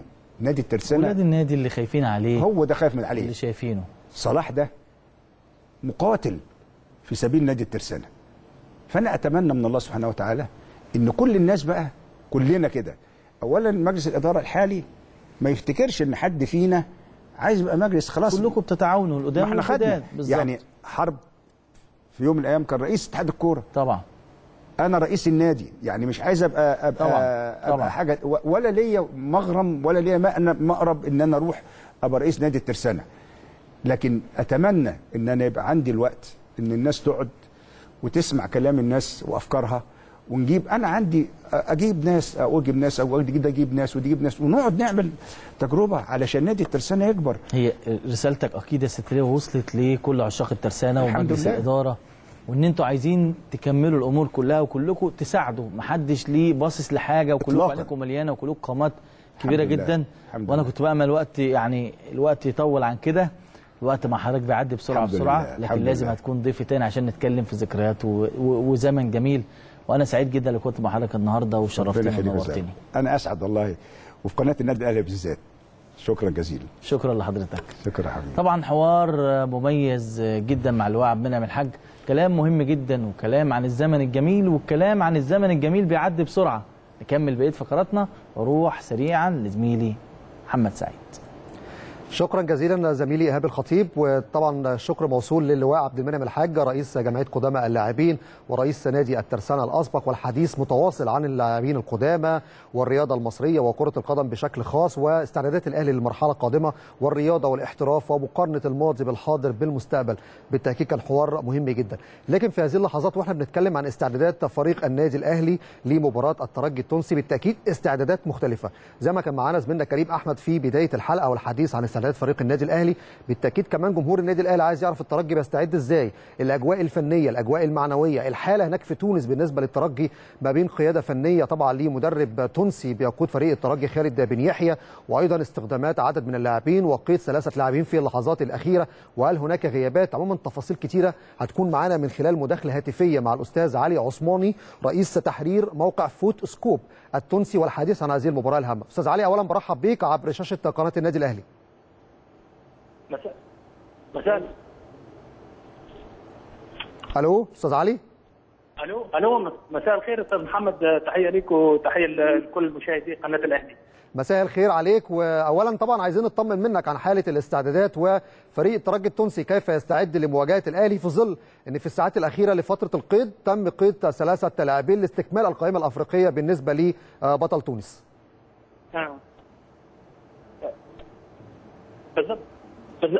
بالضبط كابتن محمد الترجي الرياضي طبعا بيستعد جيدا لهذه المباراة. هي مباراة هامة تعرف نتيجتها الترجي كان ضمن التاهل للدور ربع النهائي ولكن هي مباراة هامة تعرف في المرتبة الأولى والمرتبة الثانية الترجي بيحاول.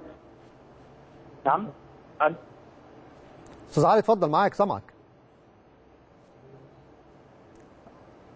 ألو ألو الله يخليك. قلت لك الترجي أكيد بيستعد جيدا للمباراة تعرف هي مباراة هامة نتيجتها للفريقين ولكن الترجي الرياضي باعتباره يستقبل هذه المباراة. هو الترجي كان ضمن التأهل للدور ربع النهائي ولكن سيحاول الانتصار في هذه المباراة حتى يضمن التأهل في المرتبة الأولى للمجموعة الأولى. هي هي مباراة هامة. الترجي بيستعد جيدا كما قلت لك للمباراة. آه كل اللاعبين جاهزين تقريبا بدنيا وفنيا آه باستثناء هذه المباراة ستكون في غياب وحيد صانع العاب الفريق سعد بقير باعتباره جمع إنذارين في المباراة الأخيرة. آه سيتغيب عن اللقاء في المقابل الترجي يستعيد متوسط ميدانه فرانك كوم وأيضا اللاعب الظهير الأيمن سامح الدربالي ممكن يكون في التشكيلة الاساسيه إضافة إلى معنا اللاعب الجزائري يوسف البلالي المهاجم الجزائري يوسف البلالي تقريبا سيكون بنسبة كبيرة في تشكيلة الترجي بعد أن معناها تتعافى نهائيا من مخالفات الإصابة اللي بعدتها عن تشكيله الترجي في الفترة الاخيره.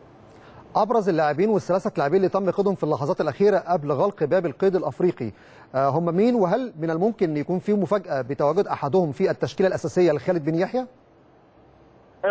بالضبط هو الترجي أضاف ثلاثة لاعبين في يعني آخر في آخر في آخر وقت قبل غلق ال ال يعني القائمة الإفريقية أمس رسميا حسب لوائح الاتحاد الافريقي لكرة القدم اللاعبين الثلاثه هم الحارس رامي الجريدي والمدافع المحوري محمد اليعقوبي وأيضا الظهير الأيمن إيهاب المباركي هو اللاعب متواجد في الفريق ولكن منذ السنة تعرض لاصابه خطيره بعدتها عن ملاعب لعده اشهر تقريبا ممكن بنسبة كبيرة سيكون إيهاب المباركي ممكن يكون في التشكيلة ولكن بالنسبة للحارس المرمى رامي زريدي ما أعتقدش أنه يكون في التشكيلة لأن الترجي الحارس الأول حزين المعز بن شريفيه وجاهز. وأيضا بالنسبة للمدافع محمد علي اليعقوب اللي انضم مؤخرا إلى تشكيل للترجي الرياضي وأعتقد أنه آه، خالد بن يحيى لن يجازف به معناها خاصة في مباراة مهمة مثل هذه يعني يمكن اللاعب مازال آه، غير جاهز بدنيا لمثل هذه المباريات ولكن تبقى بعض المفاجآت في تشكيلة ال- المدرب خالد بن يحيى اللي يعتمدها المدرب بن يحيى قد تكون معناها موجودة في مباراة الأهلي. أستاذ علي ألا وإنه الترجي خلاص يعني ضمن التأهل لمرحلة الدور ربع النهائي بعد صدارة المجموعة ب 10 نقاط قبل مباراتين من ختام مباريات المجموعة الأولى. هل الصحافة والإعلام التونسي يتحدث على إنها مباراة الترجي يسعى للفوز لتأكيد الصدارة أم أن الترجي سيحتفظ بعدد من اللاعبين حفاظا على يعني عدد من اللاعبين لا يحصل على إنذارات حفاظا عليهم من الإصابات حتى يتأهلوا ويكونوا جاهزين لمباريات الدور ربع النهائي؟ آه، لا لا بالطبع هي الصحافه الكل يعني ت- الترجي تأهل رسميا حسابيا تأهل لدور ربع النهائي ولكن الناس كلها سواء حتى حتى في في في الترجي الرياضي التونسي من إطار فني ومسؤولين وجماهير وأيضا الصحافة الرياضية في تونس تعتبر أن هذه المباراة مهمة. الترجي سيلعب بدون حسابات يعني سيبحث عن عن الانتصار. تعرف أنه آه، بيحاول يتأهل في المرتبة الأولى هو حاليا متواجد في المرتبة الأولى على بعد ثلاث نقاط.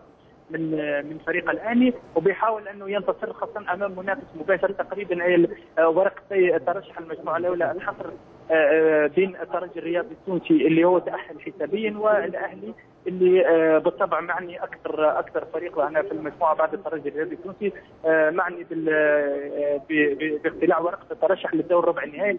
الترجي الرياضي أنه مصمم على الانتصار. تعرف أنه بيلعب ضد فريق كبير الترجي فريق كبير الأهلي أيضا فريق كبير.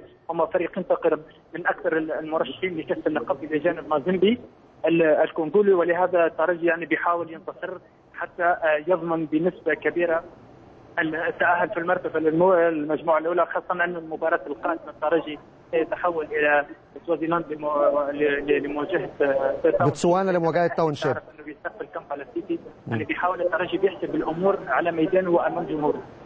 طيب في جزئية متعلقة بالجمهور وهو السؤال الأخير أستاذ علي. هل من الممكن وكما هو متبع في هذه المباريات الكبيرة مباريات الأهلي والترجي سنرى الاستاد ممتلئ عن آخره بالجماهير التونسية ولا هناك آه، مشكلة في حضور الجماهير؟ ونعلم أن هناك يعني أزمة في حضور الجماهير المتعلقة بجماهير الترجي الروابط الجماهيرية هناك في تونس في هذه المباراة. لأن عندي معلومة إن بنسبة كبيرة عدد الجماهير هيكون قليل جدا في هذه المباراة. ن- نعم بالطبع بالطبع الجماهير الترجية هي دائما في الموعد بتعرف إنه حتى الترجي تقريبا عنده أكثر من 10000 مشترك يعني والرقم هذا أكيد مؤكد أنه باش يرتفع في السنة هذه في الموسم الرياضي الجديد 2018 2019 الجماهير الترجيه أكيد باش تكون في الموعد خاصة أن المباراة كبيرة ومباراة قوية وهامة جدا ولكن تعرف أنت الاعتبارات امنيه دائما منذ حدوث الثوره في تونس يعني كما في مصر كما في عدة دول لأنه العدد الجماهيري المسموح به بيكون دائما قليل وإلا لو كان يعني العدد معناها عادي كما قبل يعني أكيد بتجد حتى 60000 و 50000 متفرج في في مثل هذه المباريات.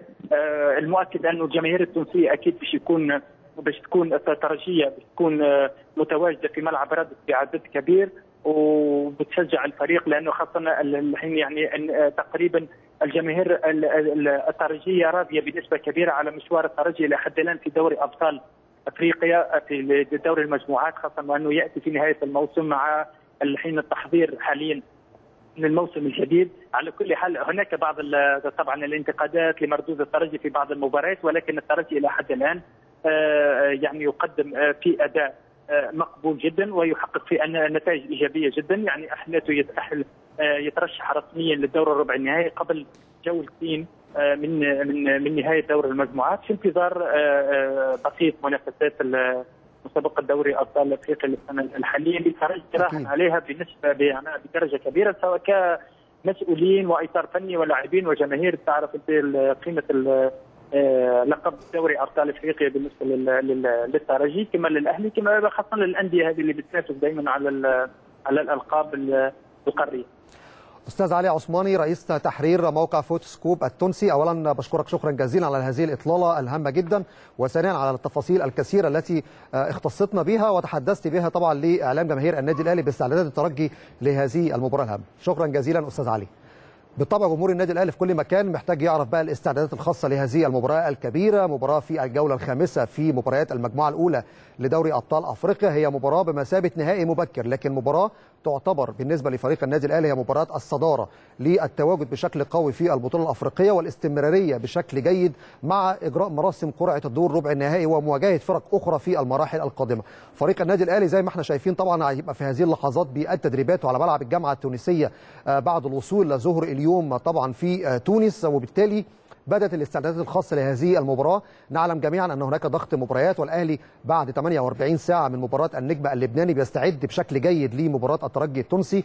الوقت ضيق جدا هناك استعدادات فنية من باتريس كارتيرون في محاضرة فنية هتكون النهارده في المساء بعد التدريب المسائي في ملعب الجامعة التونسية. ثم أيضا سيكون هناك استعدادات خاصة من مايكل ليندمان مدرب الأحمال وكانت توجيهات مهمة جدا من باتريس كارتيرون لجهاز البدني والمعد البدني لتهيئة اللاعبين من ناحية الأحمال البدنية لهذه المباراة الهامة خاصة إن يوم الجمعة مباراة الترجي بعدها ب 72 ساعة يوم الثلاث مباراة هامة جدا في الدوري أمام وادي دجلة. ثم يوم الجمعة بعدها مباشرة بثلاثة أيام أيضا مباراة مع حرس الحدود في استاد المكس وبالتالي في أقل من أسبوع ثلاثة مباريات ما بين مباريات أفريقية أمام الترجي التونسي ثم مباريات محلية. الأهلي استعد بشكل جيد تدريبات على ملعب الجامعة التونسية ودي دايما تدريبات بيبقى الأهلي مستعد ليها بشكل مختلف وعنده ترتيبات خاصة لما بيسافر لتونس. وكابتن سمير عدلي كان سبق بعثة فريق النادي الأهلي في تونس لترتيب الإقامة وترتيب ملاعب التدريب بالاتفاق مع الكابتن محمد يوسف المدرب العام والقائم بأعمال مدير الكرة. بشكل عام الأهلي بيستعد بشكل جيد وعندنا مباريات هامة جدا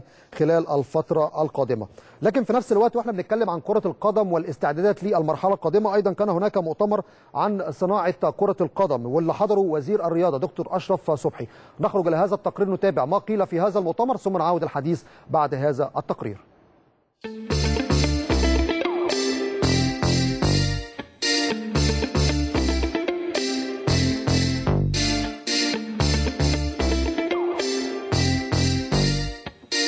لما بنتكلم على الموضوعات النهارده في الحقيقة آه، يعني الأستاذ أشرف اجاد اختيار الموضوع. بيقول صناعة كرة القدم وبيقول ثقافة المشجع وبيقول ثقافة الخبير. الثلاثه دول هي جزء من آه، اللي إحنا نقوم بيه ونعمله أي نعم الوضع الحقيقي يختلف. أي نعم الوضع الحقيقي لما بنقول إحنا هنمارس وهنشوف كرة القدم آه، على الوضع الطبيعي أو شكلها الطبيعي بيكون آه، في في في موضوعات في حاجات كتير في إشكاليات في حاجات إيجابية في مواجهات آه، الحدث نفسه أو ال event نفسه ليه ليه نكهة خاصة في كرة القدم. صناعة كرة القدم عملت توصيف وظيفي. لما تيجي تقول كده آه، إحنا عدد ال- ال- المسميات الجديدة أنا حسبتها وصلت تقريبا ألف مسمى وظيفي في الرياضة ككل. تم إنتاجه من صناعة الرياضة. اذا هي هي career موجود كارير ليه التوصيف الوظيفي بتاعه. ليه حاجات كتيرة جدا؟ طب المنظومة دي كلها بتغلف بعملية تثقيفية. بتغلف بعملية تثقيفية هي الوعي ما بين الجمهور. إزاي توعي الجماهير إن هو كمان عنده مسؤولية؟ وإزاي توعي النادي إن هو إزاي يدير الجماهير؟ إحنا لازم نعلم إن في حاجة حتى في الجنب في, في الاستادات. مواصفات للاستاد علشان أقول هو هيستقبل الجماهير إزاي. وانت على حسب درجة الاحتراف بتاعتك. الأعداد دي حاجة اسمها إدارة الحشود. إدارة الحشود دي يعني طالما عندك عدد بالألف إزاي تحسب معدل دخوله الاستاد وإزاي تحسب معامل خروجه الطبيعي؟ وإزاي تحسب معامل خروجه لحظة الكارثة أو لحظة الأزمة؟ ولو حصلت الأزمة أنت هتجيب الخروج من فوق لتحت في المدرج ولا من تحت لفوق.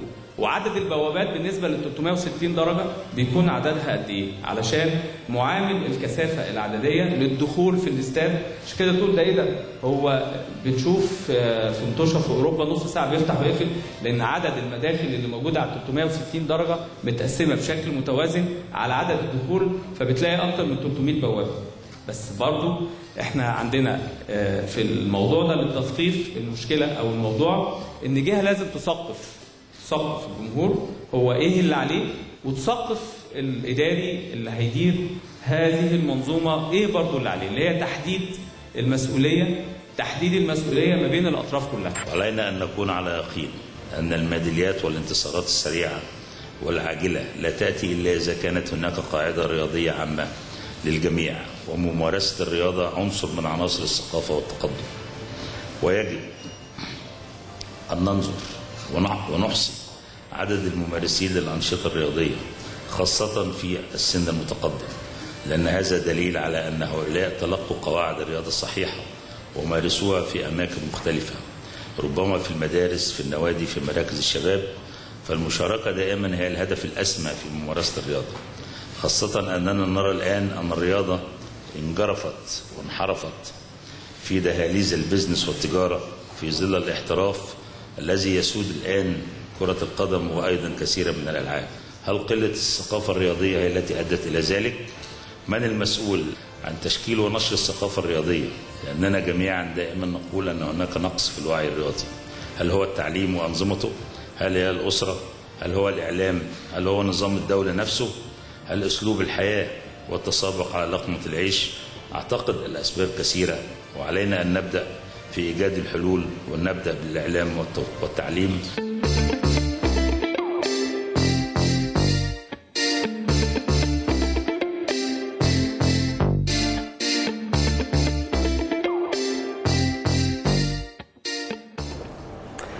أهلا بكم من جديد وزي ما سمعتوا وشفتوا في هذا التقرير مؤتمر صناعة كرة القدم. هي منظومة كبيرة جدا بتتكلم عن عودة الجماهير وإزاي نستفيد بكرة القدم والرياضة بشكل عام لأن كرة القدم والرياضة مداخيل مهمة جدا واقتصاد دول ممكن يقوم على هذه المنظومة الرياضية.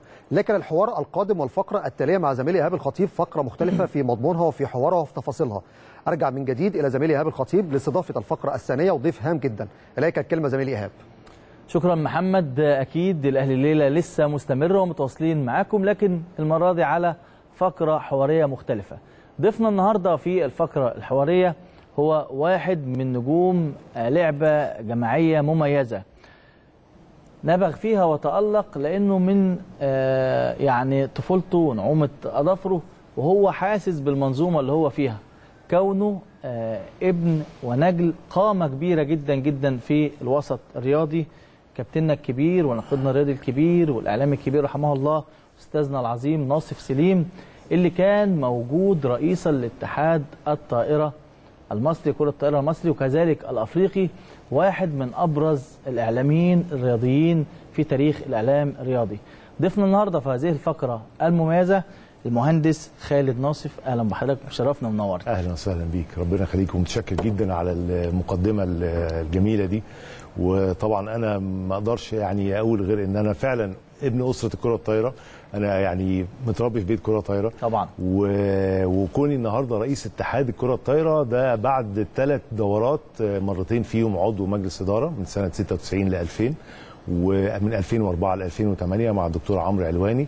وبعدين كنت نائب رئيس مجلس الإدارة مع كابتن علي السرجاني من 2008 ل 2012 وبعدين طلعت بسبب الثمان سنين وبعدين رجعت تاني رئيس اتحاد والحمد لله إحنا بقالنا تقريبا داخلين على سنة اهو وعاملين بعض الإنجازات يعني.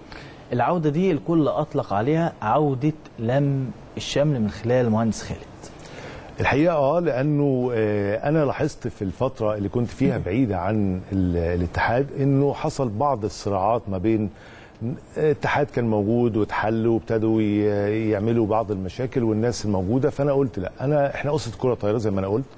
ما ينفعش إن النهارده إن واحد لعب كرة طايرة ويجي يبقى بيقف ضد واحد كرة عنده يعني نفس الأسلوب في اللعب الكره الطايره وخلي بالك إن لعبة الكره الطايره أنا بعتبرها ويمكن ده اعتقاد شخصي هي من أصعب الألعاب الجماعية لأنك أنت بتلعب ست أفراد في تسعة في تسعة متر.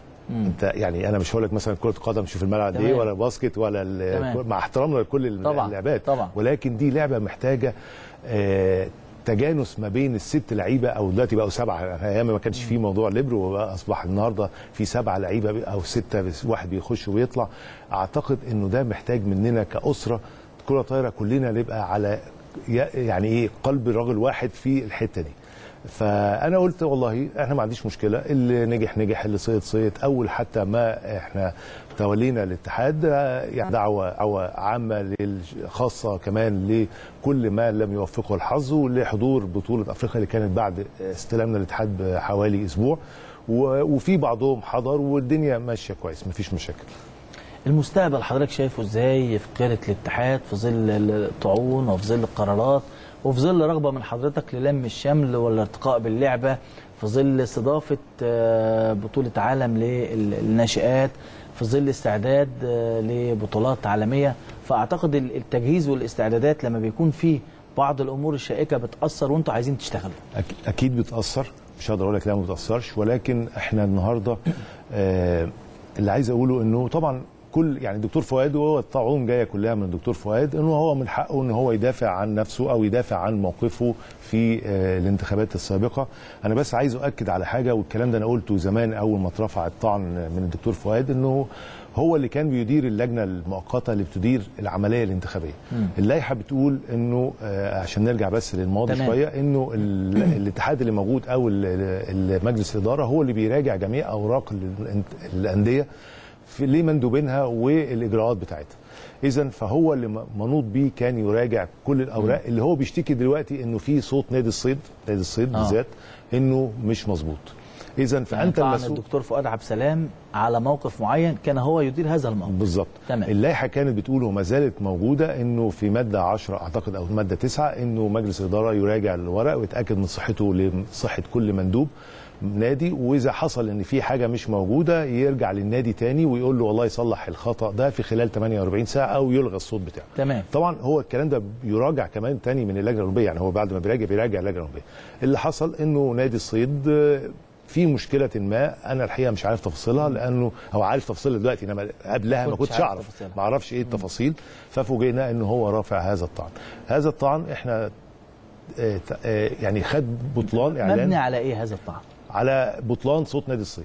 ولائحه الاتحاد المصري للكره الطايرة هي اللائحة الوحيدة كانت قبل ما نعمل الجمعية العمومية الغير عادية بأنه في أندية حسب نسبة اشتراكها لها صوتين وفي أندية لها آه. صوت.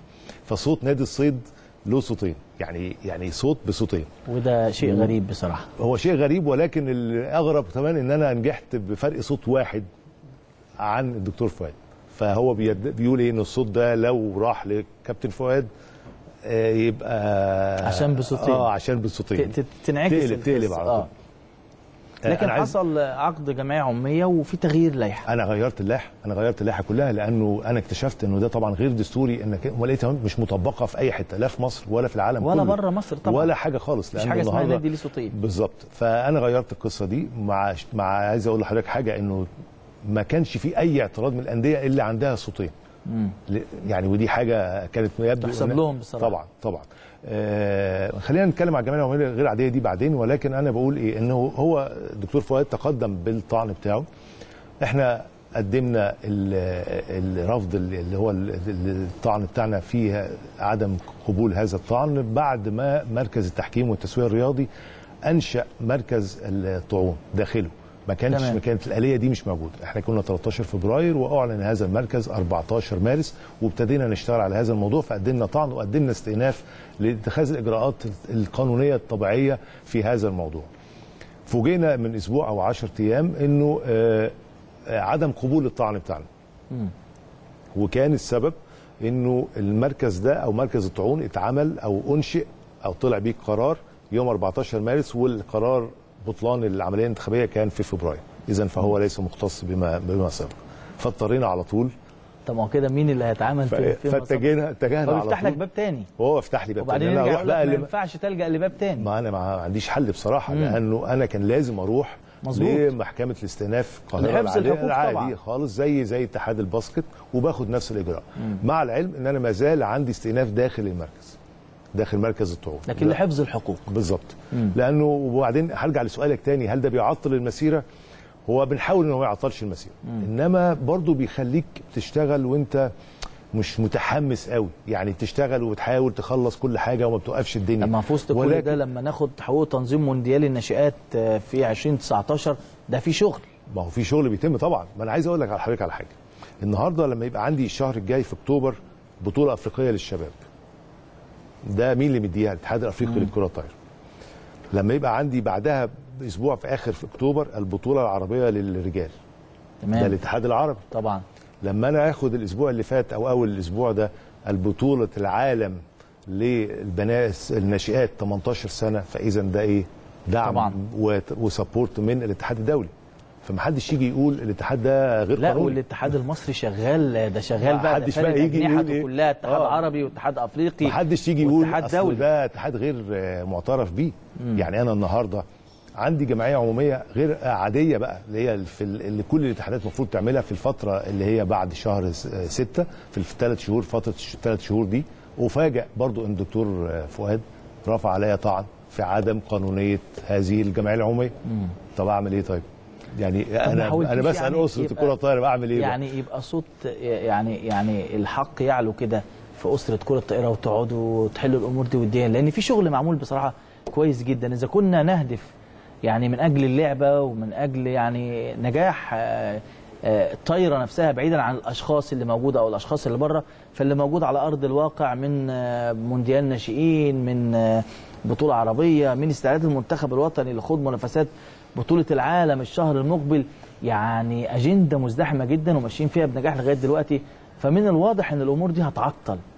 فده تعطيل للرياضة المصرية كلها. أكيد أكيد. بس أنا بصراحة ما عنديش حاجة أعملها لأنه أنا شغال وهو الدكتور فؤاد بي يعني قاعد بيقاوح معايا. ف يعني هو هو هو اللي قرر مش أنا يعني. النهاية إيه؟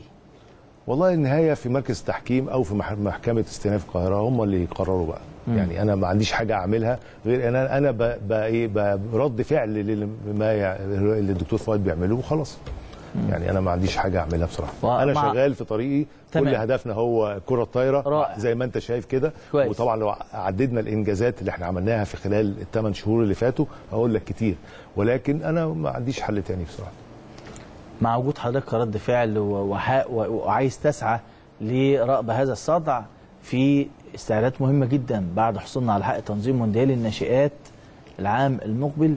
أكيد في تفاصيل وفي تجهيزات في مجهود كبير جدا لازم تعمل بهدوء. البداية هتكون إزاي؟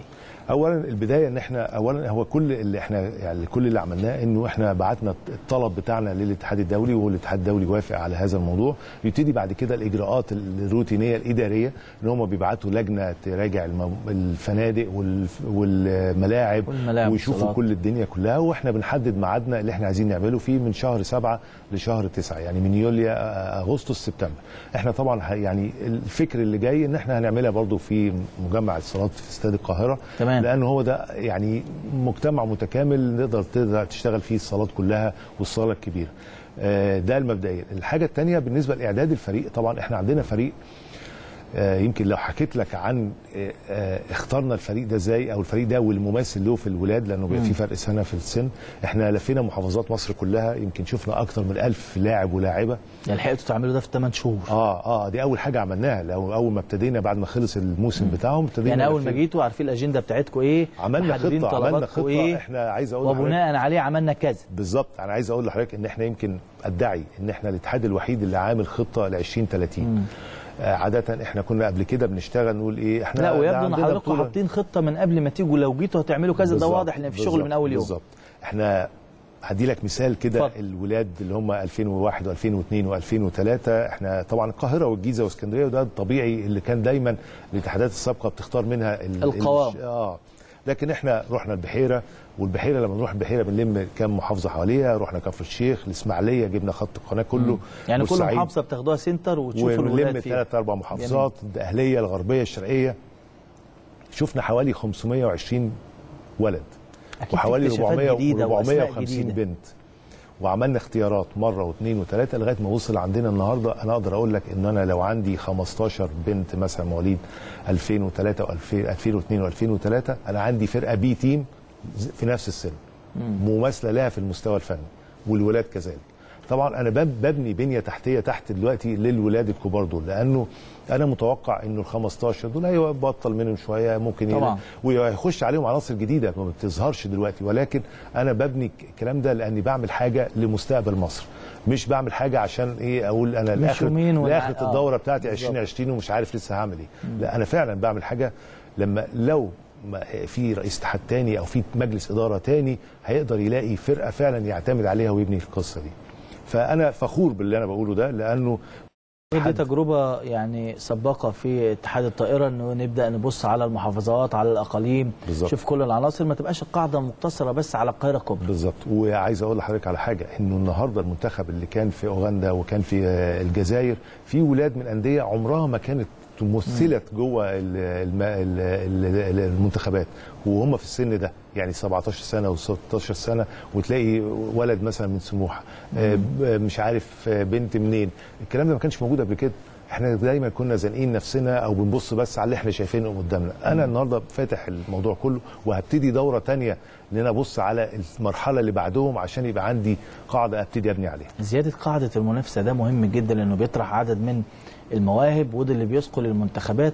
أعتقد كده خريطة كرة الطائرة في المستقبل شكلها إن شاء الله يشرف وهتكون البداية مع مونديال الناشئات. إن شاء الله. مونديال الناشئات ده طبعا محتاج استعداد مختلف تماما عن إنك أنت تقول والله أنا مؤهل لبطولة عالم وهعمل معسكر قبلها بأسبوع وكده. لا النهارده لما بتبقى أنت اللي منظم هذه البطولة الاتحاد الدولي برضو بيدي لك إمكانيات إنك أنت تقدر تتنافس أو تروح معسكرات بتبادل مع دول طبعا. عشان هو برضو بيبقى يهمه إنه الدولة المنظمة تكون موجودة من ضمن ال- الثمانيه على الأول الاوائل طبعا. مش هقول لك مثلا الاربعه جمهور عايز جمهور عايز. جمهور طبعاً. وعايز تواجد وعايز الناس تبقى موجودة وعايز وعايز وعايز فبيدي لك سبورت يعني إحنا برضو من ضمن الحاجات اللي ممكن هنطلبها من الاتحاد الدولي إن يبقى عندنا مدرب أجنبي للفرقة دي أنت متخيل إن أنا أول مرة هيبقى في فرقة في فرقة زي دي طبعا عندهم 16 و17 سنة عندهم مدرب أجنبي والاتحاد الدولي لما بيختار لي مدرب أجنبي زي ما كان جايب ماركوس أيام بطولة العالم السنة اللي فاتت للفرقة اللي هي كانت 21 سنة 23 سنة اللي بيجيب أعلى class موجود عنده في المدرب وهو بي- بيدي دعم مادي ما بدفعش أنا كل الرقم بدفع أنا جزء وهو بيدفع جزء. لأنه عايز يعمل فرق التطوير بتاعه النهارده الاتحاد الدولي توجه لاتجاه تاني. بقى أنا ما بيديش فلوس عشان تصرفها. لا بيقول لك أنا هدي لك المدرب. أنا بختار لك المدرب ده. مدرب أنا كان عندي مدرب برازيلي. المدرب البرازيلي ده جه عمل طفرة في الفرقة واخدنا فيها الخامس السنة اللي فاتت. بس ده كان الاتحاد أيام الدكتور فؤاد. فأنا متوقع إن إحنا هنعمل نفس الكلام. هيبقى عندنا فرقة إن شاء الله كويسة هتقدر تنافس. الفرقه البطولة دي بطولة العالم دي هيبقى فيها 20 فريق. فهتبقى فيها يعني آه، آه، كل العالم ممثل فيها وإن شاء الله هيبقى مستواها كويس. إن شاء الله. ان شاء الله تليفون معانا الأستاذ أحمد عبد الدايم المدير التنفيذي لاتحاد الطائره تحياتي وتحيات المهندس خالد. مساء الخير آه، أستاذ أبو الخطيب. مساء الخير يا باشمهندس خالد. مساء النور يا كابتن أحمد. آه، برنامج موفق إن شاء الله. كابتن على قدم وساق آه، رغم وجود آه، بعض ال- المشاكل لكن الأمور آه، تمشي بالشكل الأفضل داخل اتحاد الطائرة. يعني في البداية يعني كده الحمد لله إحنا ما عندناش مشاكل ولا هيبقى في مشاكل خالص. الاستقرار بيسود اتحاد الكرة الطايرة. آه، ويمكن الاتحاد خليج نحو الفرق المنتخبات القومية. آه، كان عندنا خمس منتخبات. آه، انهت ثلاثة منهم ببطولات اثنين أول واحد آه، ثاني وعندنا طبعا بطولة العالم المنتخب الأول فيها. وبطولة الشابات اللي في امم أفريقيا اللي في كينيا إن شاء الله. أكيد آه، يعني كان الباشمهندس بيتكلم على آه، مونديال الناشئات والمجهود الكبير اللي هتحصل واختلاف القاعدة بقى اللي دايما بنختار منها اختلفت ال- القاعدة بشكل مختلف كمان والجمعية العمومية. وفي يعني أمور جديدة داخل اتحاد الطائره كلها تصب في مصلحة اللعبة. يعني بداية طبعا المهندس خالد كان شرح طبعا موقف والمجهود اللي بذله هو ومجلس الإدارة. إن عشان إن إحنا نوصل إن إحنا ننظم بطولة عالم مرة أخرى في خلال آه، هذا العام. آه، لكن إحنا بدأنا من أكثر من تسع شهور بالقاعدة الأساسية في محافظات مصر كلها. آه، يمكن أول مرة تحصل في اتحاد مصر كرة الطايرة إن يبقى يبقى في مسح شامل لكل ناشئي من 2003 و4 و5 على مستوى الجمهورية. آه، طلع مجموعة متميزة من الأطفال سواء بالنسبة للناشئين والناشئات وده العصب الأساسي للمنتخبات في الفترة القادمة إن شاء الله.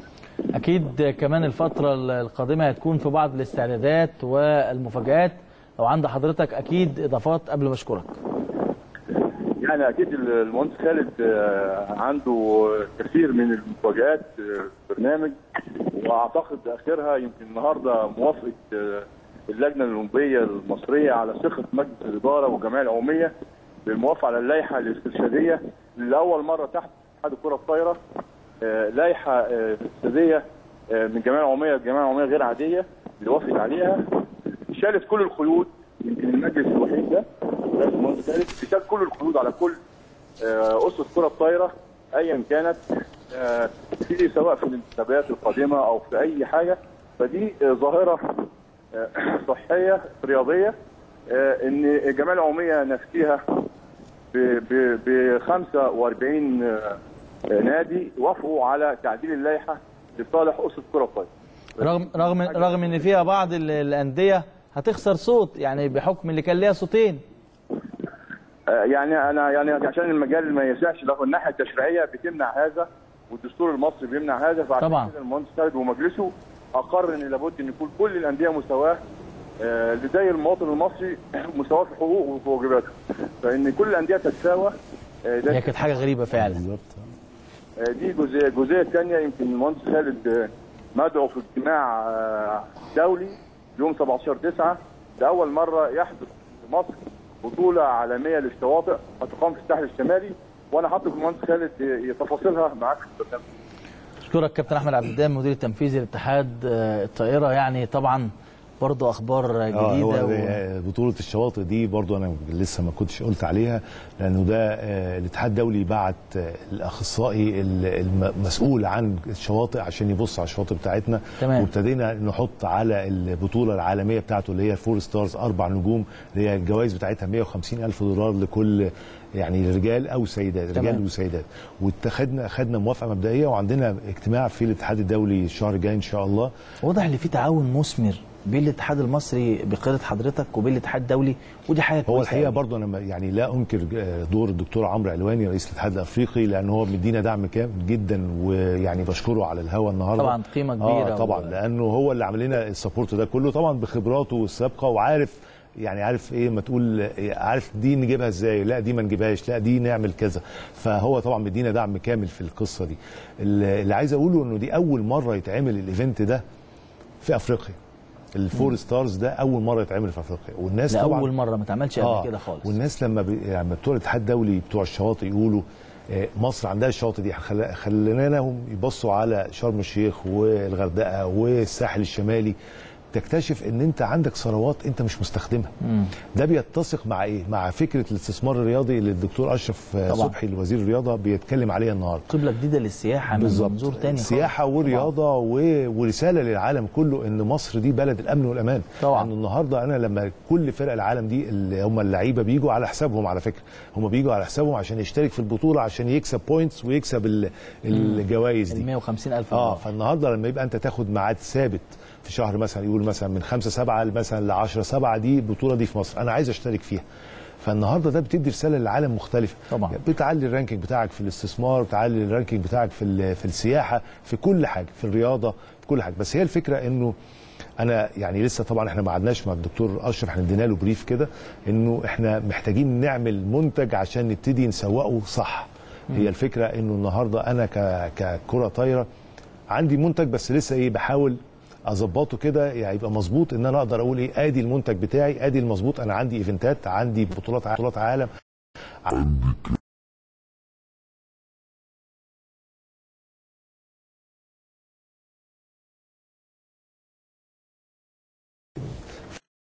في المجال الرياضي. لسه التحديات واستعدادات المنتخب الوطني لخوض منافسات بطولة العالم الشهر المقبل آه، المنتخب إحنا الحقيقة عاملين له خطة والحمد لله الحمد لله قدرنا نمشي بيها زي ما كنا راسمينها بالظبط. النهارده وأنا بكلمك منتخبنا في سلوفينيا بيلعب أربع مباريات ودية وهيرجع هيبقى عندنا مبا... آه، فريق استراليا جاي يعمل مباريات هنا من 23 ل 29 8 يعني بعد العيد وبعد كده هيطلعوا معسكر تاني في بلغاريا. إحنا المجموعة بتاعتنا الأولانية دي في بلغاريا. عاملين برضو أسبوع قبل بلغاريا هنعمل فيها ماتشات مع الفرق اللي بتبقى رايحة وبعد كده نلعب البطولة بتاعتنا. عندنا أمل. آه ما هي فرص بقى المنتخب آه في عندنا. أمل. طبعا بص أنا برضو موضوع صعب برضه. هو آه، صعب ولكن يعني ممكن نجيب نحققه لو ركزنا. هي المشكلة إنه الفرق بتفقد تركيزها في في بعض الأوقات. أنا أقول لك المجموعة بتاعتنا عشان برضو إيه الناس تبقى عارفة إحنا بنتكلم على إيه. البرازيل كندا فرنسا الصين وهولندا ومصر. طبعا. يعني قامات اللعبة. آه فيعني إحنا الصين ساعات يعني كنا بنكسبها وبس هي طلعت شوية يعني لسه الماتش في الملعب. كندا لسه برضو فيها كلام. الفرقه الثانية طبعا بنحاول ولكن أنا لو كسبت ماتشين من الماتشات دي أقدر أتأهل للدور اللي بعديه. الدور اللي بعديه لو تأهلنا إن شاء الله إحنا بننتقل إلى إيطاليا لأن هو البطولة دي معمولة في دولتين. ودي برضو من ضمن أول مرة تتعمل كده إن يبقى في عندك بطولة عالم معمولة في دولتين وبحيث إنه فإحنا بنأمل إن إحنا نعمل كده. أنا أعتقد إن إحنا استعدادنا لبطولة العالم دي إحنا عملناها ز- كما ينبغي أن يكون. إحنا في بطولة البحر الأبيض إحنا لم نستعد.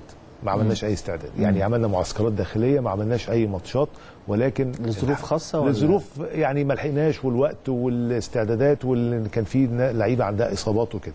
ومع ذلك إحنا كنا على يعني مشارف إن إحنا ناخد ميدالية آه، برونزية. ولكن في آخر جيم في آخر شوط كده حصل يعني الفرقة هبطت شوية كده ويعني نامت شوية فالفرقة كسبت مم. بس الحمد لله استفدنا من التجربة دي وإن تمام. شاء الله بنعوض هل كانت في أسباب وراء تغيير القيادة الفنية للمدير الفني البرازيلي للمنتخب؟ لا هو المدرب البرازيلي ده آه، الحقيقة هو نعم. كان جاي لمنتخب 23 سنة وإحنا كنا عايزين نجيب مدرب إيطالي للفريق الأول وإحنا طلبنا منه انه هو يفضل ماسك قطاع الناشئين والشباب كله يمسك القطاع كله ما تحت تحت الفريق الأول ولكن هو كان عنده ظروف واضطر يسافر يعني عنده مشاكل عائلية وحاجات. كده فاضطر إن هو يمشي. ولكن إحنا لسه برضه بنحاول زي ما بقول لك إحنا هنركز المرة دي بقى على فريق البنات اللي إحنا نجيب له حاجة ويبقى ماسك قطاع البنات كله يعمل طفرة بقى في القصة دي. خلي بال حضرتك برضه إن أنت لما بتجيب مدرب أجنبي موسم أو اتنين موسم بتلاقيه عمل طبعا. طفرة وبعدين تقدر تكمل بقى بالمصريين آه. أنا ما بقولش المصريين يعني- يعني طلعك درجة مح- وبتكمل. محتاجين بس حاجة صغيرة كده والمصريين أنا مؤمن إيمان كامل بالمدربين. المصريين. لا ده هم الأساس معلش أنا لما بجيب مدرب أجنبي ببقى محتاجه عشان بس يديني بعض الحاجات بعض الخبرات خلي بالك برضو إنه البنات عندنا ناقصهم كتير يعني. ما إحناش ما أقدرش أقول إن إحنا خاصة بنفس- لما بتوسع قاعدة وبتجيب. جيل لسه أول مرة بقى يخش بقى منتخب. ويتأهل لما تجيب له مدرب الأندية أجنبي، الجديدة فأنت, فأنت محتاج لا. انما أنا مؤمن إيمان كامل بالمدرب المصري. ما فيش عندي أي مشاكل ولكن وخاصة إن إحنا دلوقتي في عصر دلوقتي أنت شايف الأسعار الدولار والمرتبات عاملة إزاي؟ ولكن أنا بقول دايما لو احتجت حاجة كده زي موسم نص موسم أي حاجة كده أقدر أشتغل عليها. لكن في طفرة بشكل معين وده بيخلينا نتكلم في دورة الألعاب الأولمبية المقبلة. وحظوظ آه، المنتخب المصري. إحنا لسه بنتكلم بقى طبعا إحنا بالاستعداد الفريق الأول كده بنتكلم على استعدادات السنة الجاية. هيبقى عندنا تصفيات أفريقية وإن شاء الله نعوض ال ال ال ال ال السنة اللي فاتت لما إحنا خسرنا البطولة الأفريقية وطلعنا المركز الثاني. آه تأهلنا لبطولة عالم ولكن إحنا طول عمرنا كنا لاكثر من ست سبع ثمان سنين لورا إحنا كنا أبطال أفريقيا. أعتقد إن إحنا باللي إحنا بالأسلوب اللي إحنا ماشيين بيه ده إن شاء الله نكون أبطال أفريقيا ونتأهل للأولمبياد وإحنا أبطال أفريقيا. المنافسة المحلية هل هتفضل يعني مقصورة شوية بين الأهلي والزمالك والجيش ولا هنشوف فرق تانية هتدخل في المنافسة؟ آه، المفروض إن إحنا نشوف فرق تانية المفروض. لأنه إحنا النهارده ابتدينا نغير شوية في اعداد اللعيبه المسجله بحيث انه ما يبقاش تكو تكدس اللاعبين في نادي معين بحيث انه يبقى موجود وما بيلعبش. فابتدينا نقلل اعداد المسجلين بدل ما كانوا 20 خليناهم 16 اللعيبه دي هتروح أندية تانية هتقدر تعمل طفرات بس الكلام ده ما بيبانش على طول في أول موسم. يعني بيبان بعد موسم واثنين وثلاثه تقدر تبتدي تقول إيه؟ آه ال- القرار اللي اتاخد في 2017 أو 2018 هو اللي عمل الطفرة دي النهارده. إيه اللي حضرتك عايز تحققه في الفترة الجاية مع اتحاد الطايرة؟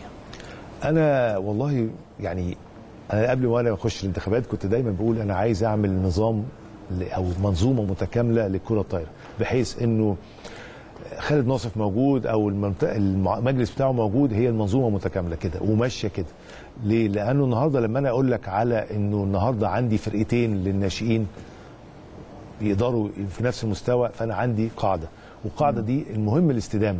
المهم إن أنا مش بعمل ده عشان أنا عندي بطولة. إحنا كنا من الغلطات الأخطاء اللي بتحصل إنه عندي بطولة إلحق لم اللعيبة طب إيه ونكسب البطولة. ما, ما آه. فيش بقول لك في مشكلة إن إحنا نكسب البطوله ولكن ما فيش استدامة.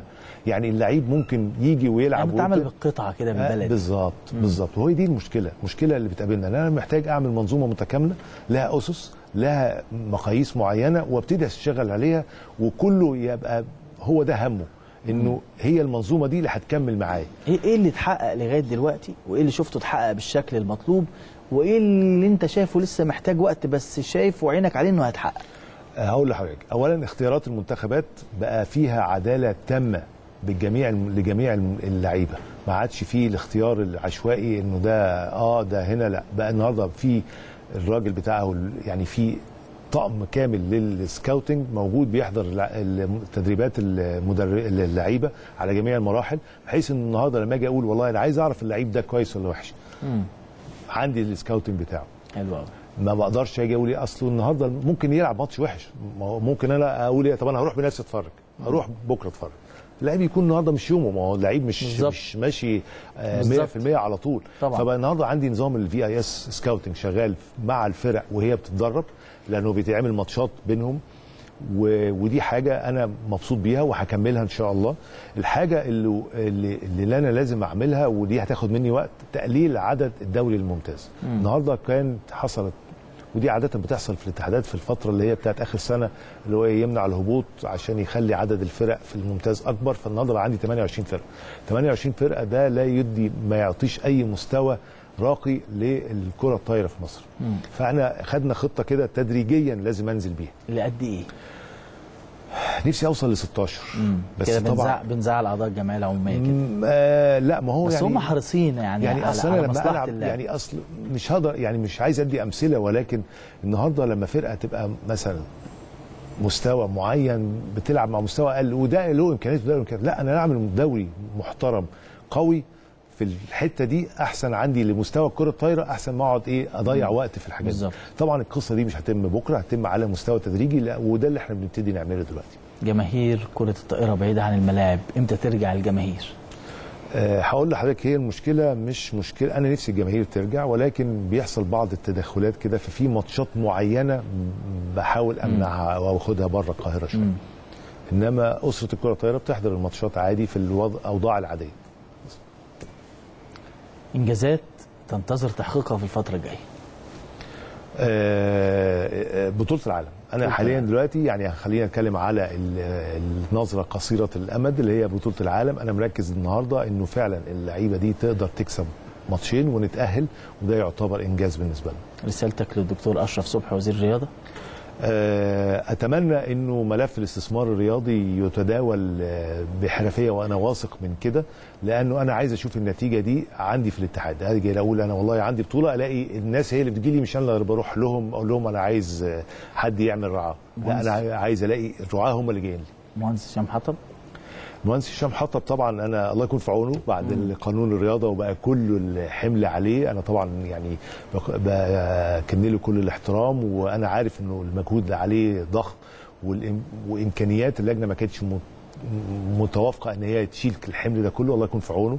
آه، إحنا كلنا أنت عارف أنا عضو اللجنه. الاولمبيه وأتمنى إن هو إن إحنا برضو يبقى عندنا خطة برضو ل 2020 و- وما بعد 2020 دكتور عمرو علوان آه طبعا ده أبويا الروحي بعد أبويا الله يرحمه في الكرة الطايرة وربنا يوفقه ويديله آه، كل حاجة يتمناها بالنسبة للكره الطايرة في أفريقيا لأنه هو أكتر واحد أنا شايفه حريص على الكره الطايرة في مصر وفي أفريقيا. على كل المجالات على كل الناس اللي شفتها في أسرة الكرة الطايرة أكتر واحد بيبقى حريص إنه الكره الطايرة في مصر تاخد نصيبها من الاتحاد الدولي. مهندس خالد نصيف سليم آه، كنت سعيد اللي حضرتك موجود معانا النهارده. الوقت بيعدي معاك آه، سريعا. إنجازات في اتحاد كرة الطائره إن شاء الله تستطيع أن تلم شمل اتحاد الطائره لو حضرتك حابب تقول أي حاجة. ربنا يخليك. أنا متشكر جدا وبشكر قناة الأهلي وبشكر النادي الأهلي وبشكر جميع أسرة الكرة الطايرة. شرفتنا ونورتنا وإن شاء الله على إنجازات وعلى وعد في الكرة الطائره إن شاء الله. شكرا لحضرتك. شكرا ميرسي طبعا آه، فكر جديد جدا في اتحاد الكرة الطائره وتوسيع بنوسع قاعدة الاختيار وبقى عندنا قطاعات ناشئين ماشية بشكل كويس. كمان لما هتنظم الدوري وهتقلل عدد الفرق عشان يبقى عندك منافسة قوية كمان لما بتنزل عدد القوائم عشان يبقى كل اللعيبة بتشارك وكل اللعيبة بتأدي عشان كل الفرق يكون عندها نجوم يكون عندنا دوري كرة طائرة فعلا قوي وعالمي. عندنا إيفنتات مهمة الفترة الجاية كل التوفيق لاتحاد الطايرة في المرحلة المقبلة. لسه مكملين معاكم في الأهلي الليلة. وأروح لزميلي عمر ربيع ياسين مساء الفل يا عمر. أستاذ ايهاب ازي حضرتك؟ آه، يا رب يكون حضرتك بخير. وطبعا متألق كالعادة ودايما بتطلعنا على كل ما هو جديد في الأخبار اللي موجودة على الساحة المحلية طبعا والعالمية في الأهلي الليلة.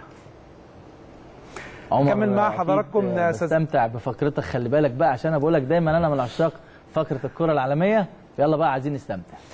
طبعا يعني بشكرك تاني يا الاستاذ إيهاب الخطيب زميلي العزيز على وجودك في الأهلي. الليلة نبدأ مع حضراتكم سريعا أعزائي المشاهدين والمتابعين طبعا ريال مدريد وأتلتيكو مدريد والمباراة المقامة حاليا في سوبر الأوروبي ما بين بطل دوري الأبطال وبطل اليوروبا ليج أو الكاس الأوروبي. وفي أول دقائق من المباراة دييجو كوستا بعد عودة من رحلة احتراف في الدوري الإنجليزي بيعود من جديد علشان يبدأ إن هو مناوشاته ومغامراته ضد فريق ريال مدريد ويحرز هدف في أولى دقائق المباراة ليتقدم فريق أتلتيكو مدريد.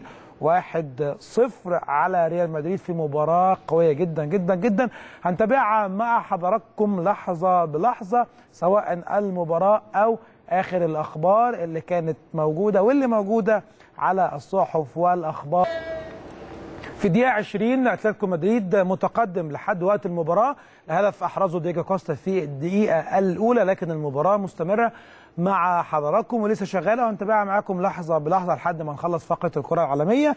ريال مدريد بدأ بتشكيل مش غريب. كل المشاهدين وكل متابعي جمهور الريال واللي مش متابع ريال مش واللي مش متابع الريال عارف إن ريال مدريد بيبدأ بتشكيل مكون من 4 3 3 في حراسة المرمى نافاس. أما الأربعة اللي في خط الدفاع من ناحية الشمال مارسيلو وفاران وسيرجيو راموس وكارفخال ناحية اليمين. ثلاثة في نص الملعب بيلعب في دايرة المنتصف كاسيميرو. وإيسكو على الشمال وكروس على اليمين. أما الثلاثي الهجومي اللي بيفت... أكيد بيفتقد وجود كريستيانو رونالدو أسينسيو وكريم بنزيما وجاريث بيل. أما تشكيلة أتلتيكو مدريد كالعادة 4 4 2 مع دييجو سيميوني اللي مش بيطور كتير ولا متحفظ بشكل كبير على طريقته اللي مميز بيها جدا جدا مع فريق أتلتيكو مدريد في السنوات الماضية اللي تولى فيها تدريب الفريق المدريدي. في حراسة المرمى أوبلاك أربعة في خط الدفاع لوكاس ناحية الشمال واثنين في قلبي الدفاع. جودين وسافيتش ناحية اليمين خوانفران. في نص الملعب بيلعب باثنين ساول ورودري هرنانديز اللاعب أو وافد جديد على أتلتيكو مدريد وعنده 22 سنة ولسه أول مرة بيشارك مع فريق أتلتيكو مدريد في بطولات أوروبية. أما ناحية اليمين ليمار وناحية الشمال كوكي واثنين في خط الهجوم. اثنين أقوياء جدا جدا جدا ومؤثرين انطوان جريزمان ودييجو كوستا. أكيد الريال النادي الملكي اللي معظم الجمهور المصري بيشجعه وبيؤازره في المباراة اليوم وأكيد طبعا بيتمنى فوز الريال. الريال طبعا صاحب الثلاث الثلاث مواسم الأخيرة بالنسخ بتاعتهم في دوري أبطال أوروبا. فاز بيهم مع زين الدين زيدان اللي حقق إنجاز أول مرة في تاريخ الكرة الأوروبية. إن مدير فني حقق ثلاث بطولات ورا بعض متتاليين. لكن عايز أقول لحضراتكم إن كان قريب منها جدا أنشيلوتي لكنه فشل بعد ما حقق بطولتين فشل في الثالثه وبالتالي زيدان هو يكون أول مدرب في العالم يحصل على لقب دوري أبطال أوروبا. ثلاث نسخ ورا بعض. تعالوا نروح ونشوف استعداد ريال مدريد في مدينة تالن. آآ آآ طبعا قبل مباراة السوبر اللي بتقام دلوقتي. هنتابع معاكم إزاي سافر وطبعا وصوله واستقباله في مدينة تالن. وأيضا كمان استعداده للمباراة بالتدريب الأخير. هنروح نتابع معاكم آخر استعدادات ريال مدريد علشان نرجع نكمل معاكم باقي الأخبار العالمية. لقاء السوبر اللي مقام في تالن. تالن عاصمة إستونيا واحدة من دول إسكندنافيا اللي موجودة في قارة أوروبا. وبالتالي كان بيستعد للمباراة اللي بتتلعب دلوقتي الدقيقة 25 ولسه المباراة 1-0 لأتلتيكو مدريد. الاستحواذ 38% لصالح أتلتيكو مدريد مقابل 62% لصالح لصالح ريال مدريد. واضح جدا السيطرة والهيمنة لفريق ريال مدريد. كمان جاريث بيل ضيع فرصة كبيرة جدا وتقريبا المرمى خالي تماما لكن التوفيق كان مش في صالحه. وبالتالي هنروح معاكم للمباراة اللي استعد بيها فريق ريال مدريد للمباراة اللي بتقام اليوم ضد إي سي ميلان اللي كانت في سانتياغو برنابيو اللي انتهت بفوز ريال مدريد 3-1 هنتابع معاكم الأهداف ونرجع نكمل معاكم. المهدية المؤهلة لدور المجموعات في دوري أبطال أوروبا لسه مستمرة وفي أندية تأهلت بالفعل. بنتكلم على عمرو وردة مع فريق باوك اللي تأهل رسميا علشان يكون عشان يكون موجود في دور المجموعات في دوري أبطال أوروبا. أكيد إنجاز بيتحسب لفريق باوك وفريق عمرو ولعمرو وردة شخصيا إن هو يكون موجود في بطولة هي الأقوى على مستوى الأندية في العالم كمان. اياكس بينجح إنه يفوز على فريق ستاندرد لييج 3-0 بعد المباراة اللي تابعناها معاكم الأسبوع الماضي اللي انتهت في بلجيكا 2-2 المهمة كانت سهلة في أمستردام أرينا أو ملعب فريق اياكس أمستردام في هولندا وانتهت ب 3-0 نتيجة تقيلة جدا هونتلار النجم الهولندي اللي كان محترف في يعني أبرز الأندية كان موجود في ألمانيا كان موجود في أكثر من نادي وهو راس حرب مميز جدا قدر إنه يجيب هدف من الأهداف الثلاثة وأياكس أمستردام بيثبت جدارته ووجوده في دور المجموعات بعد فوزه المستحق على ستاندرد لييج البلجيكي 3-0 هنروح ونتابع أهداف اللقاء ونرجع نكمل مع حضراتكم. رقم يعني كل كل الكنترول ريال مدريد. جابوا هدف واحد واحد كله بقى كريم بنزيما ولا هلا مدريد واللي يقول لي لسه هنكسب وهنقطع اتلتيكو مدريد فبسم الله ما شاء الله عندنا هنا في القناة كنترول كله بيشجع ريال مدريد واحد واحد. كريم بنزيما بينجح إنه يجيب هدف التعادل. واضح إن كريم بنزيما ورحيل رونالدو هيفرق معاه نفسيا ومعنويا. شكله هيكون هو نجم الفريق الأوحد وده طبعا يعني أمر مش سعيد لجمهور ريال مدريد. يعني بيتمنوا إن جاريث بيل يعود في مستواه اللي هم عارفينه. وتألق أسانسيو وأكيد ممكن يكون في بعض الصفقات في الأيام اللي جاية لسه آه لسه حوالي بنتكلم في أسبوعين على إغلاق الانتقالات الصيفية لإسبانيا لكن هنشوف ريال مدريد لنهاية الحلقة يعني معانا وقت قليل جدا لكن واحد واحد النتيجه لحد دلوقتي. هنروح لإنيستا واحد من أساطير ونجوم كرة القدم اللي زي ما إحنا قلنا من كام حلقة جاب هدف رائع جدا في الدوري الياباني لسه مكمل باهدافه الرائعه وهنشوف انيستا إزاي بيبدع وبيرسم لسه زي ما بيرسم لوحات فنيه يعني بشكل رائع جدا مع فريق برشلونه كمان بيرسم لوحات رائعه مع فريقه الياباني هنتابع ونشوف تاني اهداف انيستا في الدوري الياباني بشكل رائع جدا إيه إس روما واحد من الانديه اللي ما عندهاش امكانيات ماديه عاليه جدا لكن بتحاول على قد ما تقدر ان هي تعمل صفقات مميزه صفقات تقدر ان هي تولع الدوري الإيطالي. فريق روما تعاقد مع كلايفرت. الابن بقى تعاقد مع صفقة مهمة جدا في نص الملعب هو ستيفن نزونزي اللاعب الفرنسي صاحب 29 سنة اللي شارك مع منتخب فرنسا في بطولة كأس العالم الأخيرة واللي حصل عليها مع المنتخب الفرنسي. لاعب فريق إشبيلية السابق عنده 29 سنة. طبعا أبرز أبرز الأندية اللي لعب فيها طبعا كانت إشبيلية. في الدوري الإسباني وستوك سيتي لعب مع ستوك سيتي 109 مباراة لعب مع فريق أشبيلية 90 مباراة ولعب مع بلاكبيرن روفرز 86 مباراة ويمكن دي أبرز المباريات أو أبرز المسيرة الاحترافية اللي كان متالق فيها ستيفن نزونزي لكن هو لاعب ممكن يكون من من الجنود المجهولة في نص الملعب لكنه ليه دور كبير جدا جدا سواء مع روما أو سواء مع ستوك سيتي أو مع بلاكبيرن روفرز.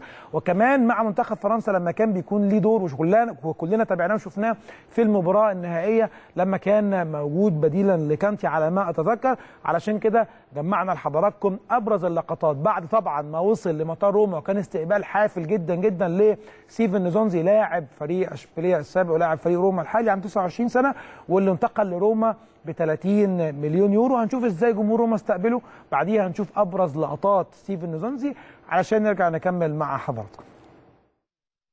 حضراتكم لنهاية فقرة الكرة العالمية في الأهلي الليلة. يمكن الوقت كان يمكن وقت قليل لكن حاولنا نعرض مع حضراتكم أبرز الأحداث اللي موجودة على الساحة الأوروبية والعالمية. وتابعنا معاكم شوية مباراة ريال مدريد وأتلتيكو مدريد ولسه النتيجة واحد واحد. والشوط الأول على وشك الإنتهاء 10 دقايق تقريبا وينتهي الشوط الأول وبعديها أكيد هنتابع الشوط الثاني ومباراة أكيد هتكون قوية جدا. هنتابع معاكم في الحلقة اللي جاية إيه اللي حصل. هنكون مع حضراتكم بالفيديوهات والأخبار الخاصة بنهائي السوبر الأوروبي. نشوفكم إن شاء الله في حلقة جديدة من الأهلي الليلة على شاشة قناة النادي الأهلي. نشوفكم دايما على خير تصبحوا على خير. والسلام عليكم ورحمة الله وبركاته.